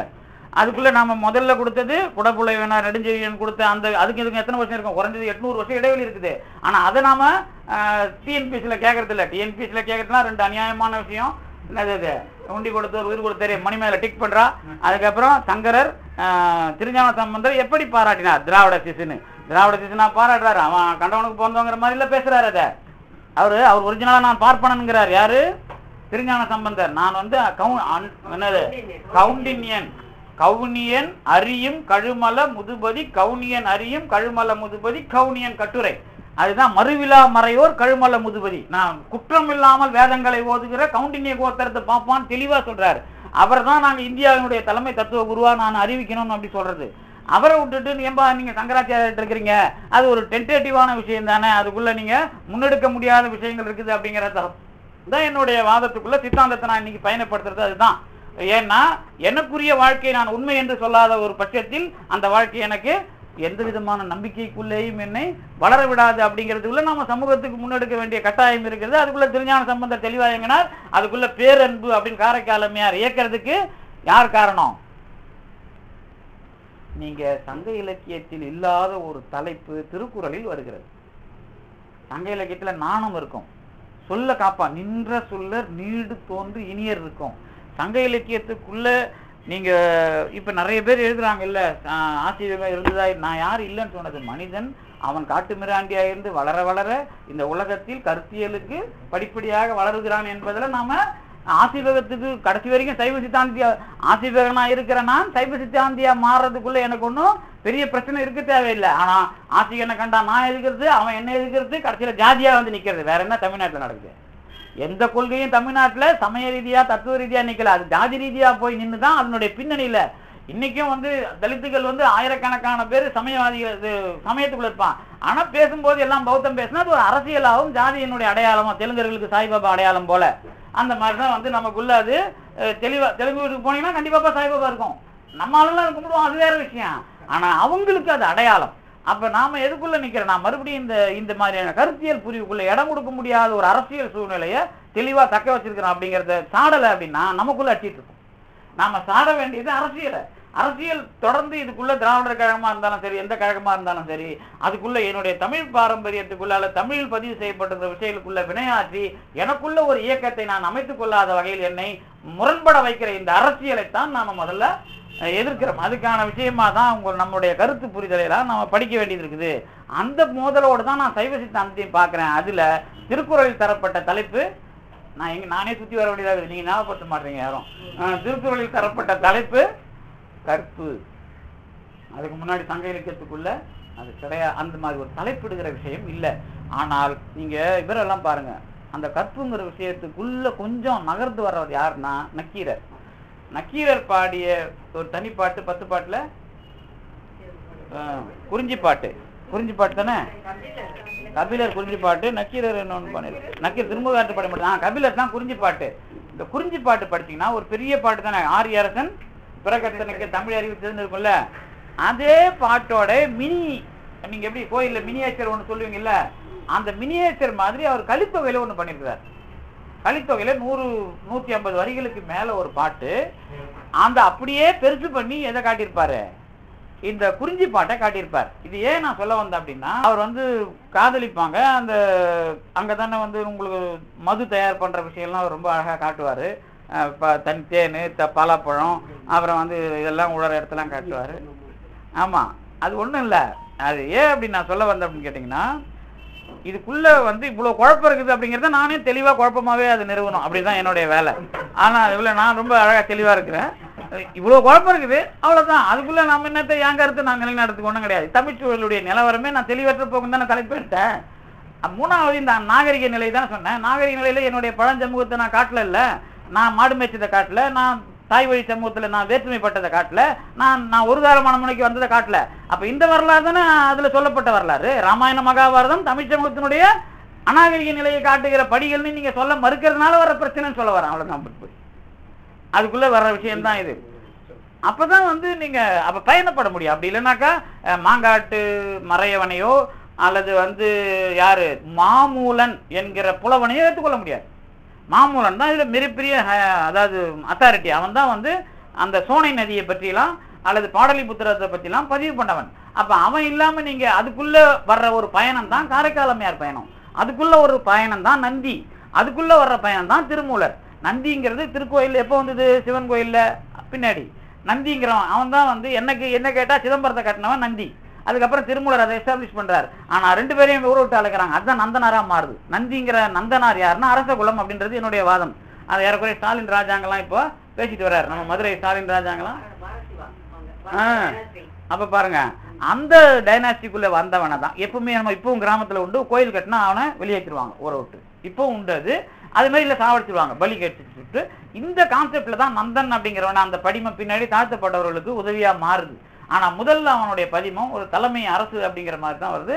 நான் அதை எழுதியிருக்கிற தமிழ் சமூக வரலாற்றில் சமயம் தத்துவம் அதை அங்கே சொன்னபோது ஸ்டாலின் ராஜாங்க அதுக்குள்ளே நேராக அந்த பயணத்துக்குள்ளே வராரு. அவர் உங்களுக்கு தெரியும் மதுரை அமெரிக்கன் காலேஜ் இப்போ எதுக்கு இதை சொல்ல வந்தேன் அப்படின்னா இந்த வரலாற்றுக்குள்ளே நம்ம தெளிவுபடாத விஷயங்களுக்குள்ளே இந்தியாவினுடைய வரலாற்று போக்கை இணைக்க மறுக்கிறோம். நாம் ஆரிய திராவிட பிரச்சனைக்குள்ள வரலாற்றில் நாம் அதை அனுமதிக்காமல் இந்த இங்கே தமிழக மா- மாணவர்களை முட்டாளாக்குறதுல தெளிவாக இருக்கிறோம். இந்தியர்கள் தமிழர்கள் இவங்க வளர்ந்துட்டானுங்க அப்படிங்கிறதுல அவன் எரிச்சல் அவன் செத்தே போறான். அப்ப நாம ரெண்டு பேரும் இன்னை வரைக்கும் நம்ம மேல இருக்கிற ஒரே விஷயம் நான் பனாரஸ் யூனிவர்சிட்டியில வேலை செய்யும் போதெல்லாம் அவன் என்ன மஸ்த் ஆத்மியவா மஸ்த் தான் தெரியல அசிமீர் புடிச்சவன் அப்படிங்கிற மாதிரி. ஆஹ் அப்ப நல்ல சத்திபி ராமசாமியார் தான் ரோடு போட்டு கொடுத்துட்டு வந்தார். தமிழ் ஆள் தான் முதல் விசி அதுக்கப்புறம் சத்திபி ராமசாமி. இவங்க ஐயர் கிடையாது. தமிழர் அப்படிங்கறது தான் முக்கியம் அங்கே. ஏன்னா வேலை பார்க்குற தமிழன்னா வேலை நல்லா பார்ப்பான் அப்படி இருந்ததை அந்த டூ ஜிக்கு பிறகு தமிழ்னா கேவலமானவன். நான் ஓடி வந்துட்டு அதனாலே பனாரஸ் யூனிவர்சிட்டி விட்டு விவேகானந்தா காலேஜ் அதுக்கப்புறம் கொஞ்சம் கேவலமா பார்த்தான். உங்களுக்கு அது தெரியாது. அவனுக்கு திருவள்ளூரையும் தெரியாது யாரையும் தெரியாது. அரசியல் தானே தெரியும். திருவள்ளூர்லாம் நாங்கள் பாடம் வைப்போம். கல்வியும் அப்புறம் வந்து இன்னொன்று நட்பும் தான் இந்த ரெண்டு பா ரெண்டு தான் நடத்துவோம். அதுக்குள்ளேயே மூச்சு முட்டிடும் எங்களுக்கு டிப்ளமாவுக்கு. இது எதுக்கு நான் இதை சொல்ல வந்தேன் அப்படின்னா அங்கே இருக்கிற சூழலில் நீங்கள் நேரம் இங்கேருந்து மிதந்துட்டு இருக்கலாம் நாம. ஏதோ அவனுக்கு எல்லாம் தெரியுது திருவள்ளுவர் தெரியுது. ஒரு புண்ணாக்கும் தெரியாது அவனுக்கு. ரெண்டாவது வந்து சாம்பார்லேருந்து தாண்டி வர மாட்டான். நாம குழம்பு நாம கத்து விடணும் இக்கு அது கரும்பு. அப்புறம் வந்து என்ன சாம்பார் இந்த ரெ- தாண்டி அவன் வர மாட்டான் ஆ, இன்னைக்கு நம்ம இருக்கிறோம்ல. அந்த இக்கும் மாமரத்தையும் கொடுத்தோம் பாருங்க அசோகர் காலத்தில். அதோட நிற்கிறேன் இன்னும். அவனுக்கு நமக்குமான இடைவெளி அசோகர் மாமரம் நட்டா சோழ நட்டாருன்னா இங்கிருந்து எட்டு மூணு நட்டாருன்னு அர்த்தம்.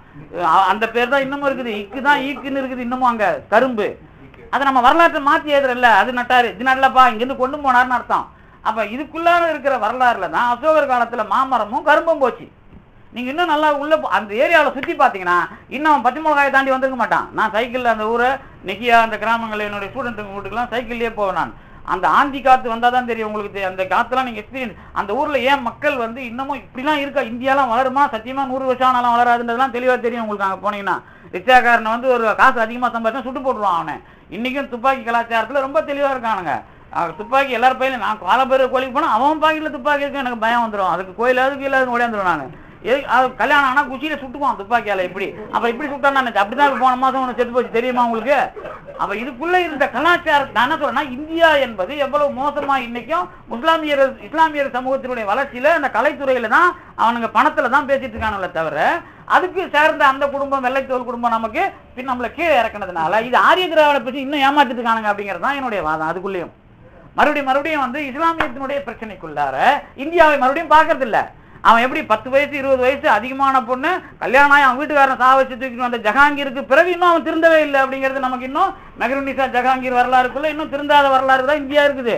ஆனால் நாம் என்ன பேசிட்டு இருக்கோம் அப்படின்னு உனக்கு ஜஹாங்கீர் வரலாறுலாம் நான் எவனும் சொல்லாத இருக்க மாட்டேன். ஏன்னா அவன் சின்ன வயசுல பார்த்த அந்த அழகான கவர்ச்சி அவனுக்கு காம அரும்புற காலத்தில் அந்த சலசலன்னு பார்த்தான் பார். அவங்க ஒரு மாதிரி அந்த ஜிலு ஜிலுன்னு இருக்கும்ல அதுக்கப்புறம் இருபது வருஷம் கழிச்சு அவன் ஆட்சிக்கு வந்த பிறகு போய் தூக்கிட்டு வரானா இல்லையா அவளை? மெகுனிசாவை தூக்கிட்டு வந்து ஆட்சி பண்ணி அவள் தானே ரோஜா பூல சென்ட் கண்டுபிடிச்சவா? அப்போ அவள் அடிமையாகி இந்தியா ஆமாம் இதுதான் நடந்தது. அதுக்கப்புறம் தான் தாஜ்மஹால்லாம் பின்னாடிலாம். அப்போ இதுக்குள்ள இந்த வரலாற்று பிற்போக்கில் நம்ம இந்திய எழுத்தாளர்கள் வரலாற்று ஆசிரியர் போகலைங்கிறது தான் என்னுடைய வாதம். அப்புறம் என்ன கம்யூனிஸ்ட் வாழ்து அப்புறம் என்ன ரமிலா தாப்பீர் நம்ம பேச வேண்டியிருக்குது? அப்புறம் என்ன டிடி கோசாம்பியை பேச வேண்டியிருக்குது? இது என்னுடைய நீங்கள் தூக்கி பிடிக்கலாம். இதை புதுசாக ஏன் அப்படின்னு கேட்டீங்கன்னா நான் மொழி முறையான ஒழுங்குக்கு முழுவதும் வராத காலத்துல நான் மட்டும் அதுக்குள்ள அதுவும் ஒரு சலசலப்பு தான் என்னை பொறுத்த வரைக்கும். அதுக்குள்ள நான் வந்து இப்ப இவ்வளவு காரியம் இருக்குது என்ன காரியம்னா பக்தவச்சல பாரதியும் நம்ம ரங்கையா முருகனும் பண்ண வேலை இருக்குது இல்ல? ரங்கையா முருகன் எழுதினார்ல அதுக்கு தானே பக்தவச்சல பாரதி எழுதுறாரு? ரங்கையா முருகன் புக்கு பேர் என்ன? பயண பதிவுகள்னு ஒண்ணு இந்தியா முழுக்க சுத்தி. அதுல பான்குடியினுடைய 54 நாலு கோட்டை கட்டினது. அது பர்தான் இசைக்குடி. அதுல ஒரு மானுடவியலில் மானுடவியல்ல ஒருத்தன் வந்து கல்யாணம் பண்ணது. அவர் இந்த அந்த பேராசிரியர் இப்பதான் இறந்தார். ஒரு வருஷத்துக்கு முன்னாடி தானே அந்த பர்தான் குடியில இருந்து ஒரு பொண்ணை கல்யாணம் பண்ணி வெளிநாட்டுக்காரர் வந்து இருந்து இப்பதான் இறந்து போனார். அப்ப இந்த குடிகளுக்குள்ள இருக்கிற பழைய வரலாறு இதனுடைய பண்பட்ட வளர்ச்சி இதுல இது என்ன உயிரா நினைக்குது? அடுத்தவனுக்கு சாப்பாடு போறதையும் ஒழுக்கத்தையும் நேர்மையையும் இது எப்ப பெற்றுது? இப்ப நாம இதுக்குள்ள பேச முடியுமா?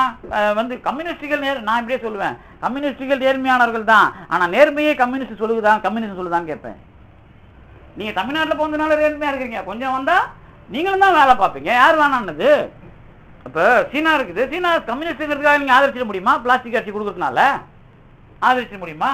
இப்போ ரஷ்யாவை நீங்கள் ஆதரிக்கலாம். ஆனால் சீனாவை ஆதரிச்சிட்டு முடியாது. தொடர்ந்து உலக மார்க்கெட்டையே கையில் வச்சுக்கிட்டு உலகத்தையே தெளிவாக அழிக்கணும். நான் முதலாளி ஆகணும்னு நினைக்கிற ஒரு நாட்டை நான் எப்படி கம்யூனிஸ்ட் நாடாக நான் மதிக்க முடியும் அதுக்குள்ளே? அப்போ நான் அதுக்குள்ளே வரும்போது என்னுடைய கருத்து எனக்கு அது பிரச்சனையாகுதா இல்லையா? அந்த கருத்தை தான் நாம் எங்கிருந்து பெற்றோம் அப்படிங்கிறதுக்குள்ள வரும்போது திருவள்ளுவர் ரொம்ப தெளிவா அவர் தான் இதை தொடங்கி வைக்கிறார் சார். எதை? இந்த சங்க இலக்கியத்தினுடைய வாழ்நிலை பண்புகளை வேதத்திலே வேதம் இந்து பாரம்பரியம் அப்படிங்கிறதுக்குள்ள நீங்க நான் ஆராய்ச்சி பண்ணலாம்னு நீங்க சும்மா ஒரு ஒரே ஒரு வார்த்தையா நீங்க என்ன நினைக்கிறீங்க கேட்டீங்கன்னா என்ன சொல்லலாம்? அந்த மாதிரி ஒரு பாஷையா சொல்றேனே. ஆஹ் இந்த பழைய நாகரிகம் அல்லது இந்தியாவினுடைய பறந்துபட்ட நாகரிகத்தினுடைய அறிவார்ந்த விஷயங்களை ஒரு மொழியை உருவாக்கி எழுதப்படுகிற விஷயமாகத்தான் நான் வேதங்களை நான் பதிவு செய்திருக்கிறேன். அவ்வளோதான் எனக்கு இருக்கிற விஷயம். அதுக்குள்ளே என்னால் சொல்ல முடியும்? ஏன் அப்படின்னு கேட்டிங்கன்னா ஒரு இப்போ நன்னூல் ஏன் நன்னூல் எனக்கு பிடிக்காது. அப்புறம் அகராதிலாம் எனக்கு பிடிக்காது. ஏன்னு கேட்டிங்கன்னா ஒரு ம இப்போ நான் வடநாட்டில் போய் பாடம் நடத்தினேன் சார். நடத்தும் போது எனக்கு என்ன தேவைப்படும்? வடநாட்டில் இந்திக்கார பசங்களுக்கு தமிழே இந்தியில் நடத்தணும். இது என்னுடைய வேலை. இப்போ அவனுக்கு எப்படி சொல்லி கொடுப்பேன்? நான் தமிழ் வாத்தியார் கிடையாது.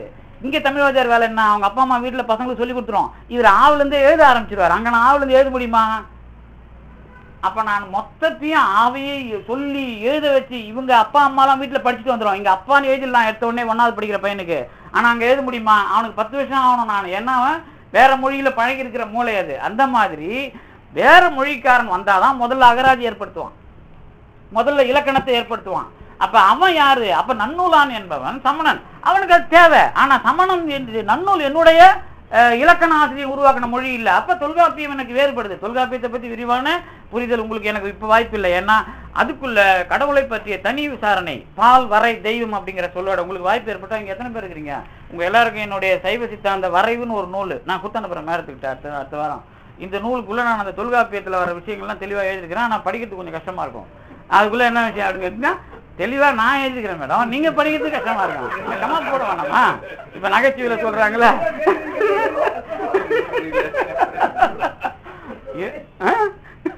இதுக்குள்ள ஒண்ணும் இல்ல. அது அது அந்த தளத்தில் இருக்கிறவங்க தானே அதோட இப்ப மார்க்சிய சொல்லி எல்லாருக்குமே ஏற மாட்டேங்குது இல்ல ஏன் அந்த தளத்தில் இருக்கிறவங்க ஈஸியாக அதை படிச்சிருவான். அவ்வளவுதான். அதுக்கு பயிற்சி எடுக்கும்போது அது புரிய ஆரம்பிச்சிடும். அவ்வளோதான் ஆனால் நான் மார்க்சியத்தை சொல்லும்போது வித்தியாசமாக சொல்லுவேன்ல. அதான் எனக்கு நான் சாதாரண ஜனங்களுக்கு புரிஞ்சிடும் அதனால் அந்த மாதிரி வந்துடாது.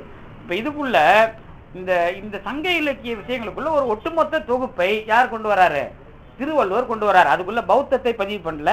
சமணத்தை ஆனா பௌத்தம் தெரியுது. சமணம் ஏன்னா அந்த எல்லாம் வந்த பிறகு நான் எப்படி பதில் சொல்லணுன்றதா இல்லையா? நான் ஒரு நூலை எழுதும்போது இன்னைக்கு நான் என் இஷ்டத்துக்கு சிவஞான போத்தில் இருக்குது நான் எழுத முடியும். இன்னைக்கு கேட்குற கேள்விக்கு பதில் இல்லைன்னா அவன் அதை படிக்க போறான்? கல்வெட்டு ஆராய்ச்சியா பண்ணி நீங்க பண்றது இருக்கு. சிவஞான போதத்துக்கு நான் உரை எழுதும்போது கல்வெட்டு ஆராய்ச்சியா படிக்கிறான். அது இல்ல இல்ல அவன் வாழ்வியலோடு நான் சொல்லணும். நான் சொல்லுவேன் அப்போ எடுத்த உடனே ஆரம்பிப்பேன். அவன் அவள் அது எனும் அவை மூ வினைமையின் தோற்றிய திதியே ஒடுங்கி மலத்து உலதாம் அந்த மாதி என்மனார் புலவர். இந்த மாதிரி உலகத்துல எவனுமே தத்துவத்தை ஆரம்பிக்கல. புருஷன் ஆண் பெண்ணுக்குள்ள தத்துவத்தை ஆரம்பிச்ச ஒரே ஆள் தமிழன் தான் அப்படின்னு என்ன சொல்ல முடியும் அதுக்குள்ள. அதுக்குள்ள உண்மை இருக்குது. அப்ப ஏன் உலகத்துல கடவுள்ல இருந்து ஆரம்பிக்காம ஆண் பெண்ல இருந்து ஆரம்பிக்கிறான் அப்படின்னா அதுக்குள்ள ஒரு விஷயம் உண்டு. அப்ப தத்துவத்துக்கான விஷயத்துக்குள்ள அந்த உறவுக்குள்ள அதை ஆரம்பிக்கிறான். அதுதான் இறையனார் கலவியல் சைவ நூலா வருது. அதுதான் கல்லாடம் முன்னெடுக்குது அப்படின்னு நான் முன்னோக்கி போவேன் அதுக்குள்ள. இது முன்னோக்கி போக போக எனக்கு அதுக்குள்ள எது இருக்குது? திருக்குறள் இருக்குது. திருக்குறளுக்குள்ள சமணம் பற்றிய அந்த வினையாடல் உள்வாங்கப்படுகிறது. பௌத்தம் பற்றிய வினையாடல் உள்வாங்கப்படுகிறது. அதே சமயத்தில் வேதமும் உள்வாங்கப்படுகிறது. அதான் முக்கியம். ஏன்னா கடவுள் வாரத்தில் அவர் முழுக்க முழுக்க முழுக்க வேதத்தில் ஆராய்ச்சி செய்யப்பட்ட கடவுளை பற்றி தான் பதிவு செய்கிறார். அதுக்குள்ள இன்னும் முக்கியமா தாமரை கண்ணான் அப்புறம் மலர்மிசைனா சாம வேதத்துல வர்ற சாந்தோக்கி உபநிடத்துல வர்ற தகராலய ரகசியத்தை தான் அவர் எழுதுறாரு அதுல.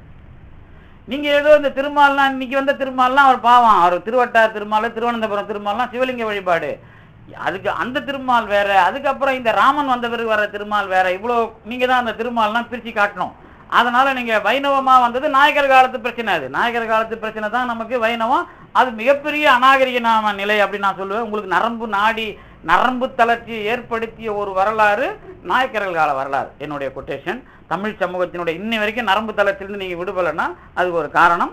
ஏன்னா கோயில்களை நான் பார்க்கும்போது பாலியலாக அரண்மனையை பார்க்கும்போது பாலியலாக ஒரு அநாகரிக போக்கை எல்லா தலங்களுக்குள்ளும் இணைச்சி தமிழினுடைய இது கூலப்ப நாயகன் காதல் மடல் தாசி காமரசு பட்டம். அப்புறம் என்ன எல்லா வினோதங்களும் இந்த மக்களுக்கு பாலியலாக ஒரு சுதந்திரத்தை விட்டு நரம்பு தளர்ச்சியான ஒரு சமூகத்தை உண்டாக்கிய அந்த காலம் பொற்காலம் நம்ம அதுதான் இன்றைய சன் டிவி வரைக்குமான பாதிப்பு என்பதை தெளிவோடு நீங்களாம் ஞாபகம் வச்சுக்கணும் கேப்டன் டிவி வரைக்கும். அதுக்குள்ள நீங்க ஞாபகப்படுத்திக்கலாம் ஒன்றும் பிரச்சனை இல்லை. ஆனா விஷயம் தான் ஆனால் அதிலிருந்து தான் ரெண்டு பேர் வராங்க. ஒரு கன்னட நாயக்கரும் ஒரு தெலுங்கு நாயக்கரான சோமசன் நாயர் தான். சைவத்தை சோமசுவர நாயர் மீட்டெடுக்கிறார் மக்களை மீட்டெடுக்கிறார் பெரியார். அந்த ரெண்டு நாயக்கரும் அதுல இருந்து வந்தவங்க தான். அந்த நாயக்கருக்குள்ள தான் இருக்குது அதுக்காக கவலைப்படாதீங்க. உடனே இதுல ஜாதி இல்லை அப்படிங்கிறது மறுபடியும் இருக்குது. ஆனால் அரசியல் என்பதுதான் இதிலேயும் இருக்கிறது அப்படிங்கிறதுல தெளிவாகுது. அதுக்குள்ள நமக்கு மாற்று கருத்து இல்லை. அதுக்குள்ள இந்த சங்க இலக்கியத்துக்குள்ள வந்த விஷயத்துல அடுத்து திருவள்ளுவர் பண்ண முக்கியமான விஷயத்தை இந்த திருக்குறளுக்கு எந்த சமயம் பதில் சொல்லுதுன்னு பாருங்க. வகுத்தான் வகுத்த வகையல்லால் கோடி தொகுத்தார்க்கும் துய்த்தல் அரிது. இதுக்கு பதில் எந்த சமயத்துல இன்ன வரைக்கும் கிடைக்கும்? எந்த சித்தாந்தத்துல கிடைக்கும்? இதுதான் சேக்கிழாருடைய கவனம். சேக்கிழார் தாக்கி நாயனார் புராணத்தை எடுத்துக்கிட்டு செய்வான் செய்வினை சேர்பயன் சேர்ப்பான். இவ்- இவ்வியல்பு சைவ நெறி அல்லவற்றுக்கு இல்லை. அப்படின்னு துணிஞ்சு அடிச்சார். அப்ப இன்றைக்கு சைவ சித்தாந்தம் என்று பேசப்படுவது திருக்குறளில் முன்மொழியப்பட்ட ஒரு விஷயம். ஆனால் திருக்குறள் சைவ சித்தாந்தம் என்று பேசவில்லை. ஆனால் சைவவாதி என்று யாரை மணிமேகலை அடையாளம் காட்டுகிறது? சிலப்பதிகாரம் அடையாளம் காட்டுகிறது. சிலப்பதிகாரத்தில் அஹ், சைவவாதி தெளிவாக இல்லாவிட்டாலும் தத்துவவாதியாக ஒரு எட்டு பொருள்களை ஏற்றுக்கொண்டவனாக மணிமேகலை அடையாளம் காட்டுகிறது. அதுதான் எட்டு பொருளை ஏற்றுக்கிட்டோம் நான் சொல்றேன். சைவவாதி இப்ப நான் பிரசன்ட் பண்ணும்போது எல்லாத்தையுமா சொல்லுவேன்? ஆனா காரைக்கால் அம்மையார் சொல்லும்போது திருவருளால் மெய்ப்பொருளை நோக்கும் விதி உடைய பேரன்பே இன்னும் பெருக்கு. அப்ப மெய்ப்பொருள்ன்ற விஷயம் வந்துருச்சு பேய்ங்கிற விஷயம் இருக்குது. அறம்ங்கிற விஷயம் இருக்குது. சிவகதின்னு ஒரு விஷயம் இருக்குது. நடராஜர் ஒரு விஷயம் இருக்குது. அப்புறம் புராணவியலா சொல்லப்பட்ட பலகர் இதெல்லாம் தொகுக்கிறாங்க காரைக்கால் அம்மையார் அப்ப அவங்க தொகுக்கும் போது அவங்க தொகுக்கிற இந்த விஷயத்துக்குள்ளார முன்னாடி பதிவுகள் இல்லாமையா தொகுப்பாங்க.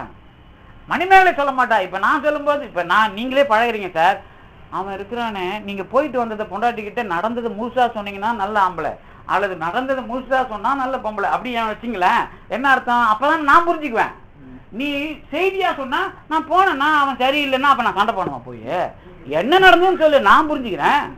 அந்த மாதிரி தான் இந்த காலத்து டெக்னாலஜி எனக்கு அதில் உடன்பா யாருன்னா ஸ்டூடெண்ட் அனுப்புனா எவன் ஒருத்தன் ஜிஸ்டா செய்தியா மாத்திரானா நான் நம்ப மாட்டேன். ஏன்னா நான் புரிந்து கொள்ளணும். அங்க என்ன நடந்தது அப்படிங்க. தானா அவன் போட்டு தள்ளுவானுங்க. ஆளுக்கு ஆவாத ஆள்லாம். இதுதான் உங்களுக்கு அரசியல் வரைக்கும் என்ன நடக்குதுன்னு தெரியும்.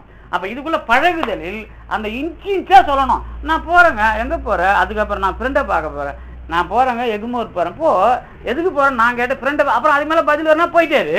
நீ யாரை பார்க்க போற சொன்னா நம்பிக்கை இருந்தா தானே சொல்லுவ. அப்ப உனக்கு அதுக்கு எனக்கு பழக்கம் இல்லைன்னா நீ போ. உன் வேலையை பாரு. நீ பார்த்து வரைக்கும் பாரு. அப்ப நான் யாருன்னு தெரியணுமா இல்லையா? அப்ப என்னுடைய பழகுதலில் இருக்கிற நான் விவரணைகள். இந்த விவரணை தான் மணிமேகலைக்கும் அப்ப அதுக்கு முன்னாடி ரொம்ப தெளிவா எனக்கு சிலப்பதிகாரத்துல அந்த காடு காண்காதையில கவுஞ்செடிகள் பேசுறாங்க அதுதான் ரொம்ப முக்கியமான பாயிண்டா தெரியுது. ஏன் தெரியுமா? அவங்க தான் ரொம்ப தெளிவா என்னத்தை முன்வைக்கிறாங்க அப்படின்னு கேட்டீங்கன்னா ரொம்ப அழகா முன்வைக்கிறாங்க. நீ என்ன? இறந்த இந்த பாட்டை வேணா படிக்கிறேன். உங்களுக்கு இது நான் நாம இந்த சைவ சித்தாந்த பெருமண்டத்துல இதுதான் இப்போ ஏறக்குறைய ஒரு நாலு மாசமா ஓடிட்டு இருக்குது. இந்த வரலாறு குழப்பங்கள் தான். அதுல இறந்த பிறப்பின் எய்திய எல்லாம் பிறந்த பிறப்பில் காணாயோ? நீ வாய்மையின் வழாது மண்ணுயிர் ஓம்புணர்க்கு யாவதும் உண்டோ? எய்தா அரும்பொருள் காமுரு தெய்வம் கண்டு அடிப்பணிய நீ போ. இதுதான் வந்து கவன் என்ன மாடல மறையன்ட்ட சொல்றா? எப்பா போன பொறுப்புல பிறந்ததுக்கு இந்த பிறப்பு என்னப்பா பாவம் அனுபவிக்கணும்னு தெரியாம நீ வேண்டியதை பெறதுக்குன்னு ஒரு தெய்வத்தை வச்சிருக்கல அதுகிட்ட வாங்கிக்கிறதுக்கு நீ போ. அப்படின்னு என்ன அர்த்தம்? வேள்வி கடவுள். கடவுள் எனக்கு வேண்டியதை கொடுக்கணும். அப்படிதான். நான் வேண்டதுக்கு வேள்வி செய்யணும். இது வரைக்கும் இந்து சமயம் சார்.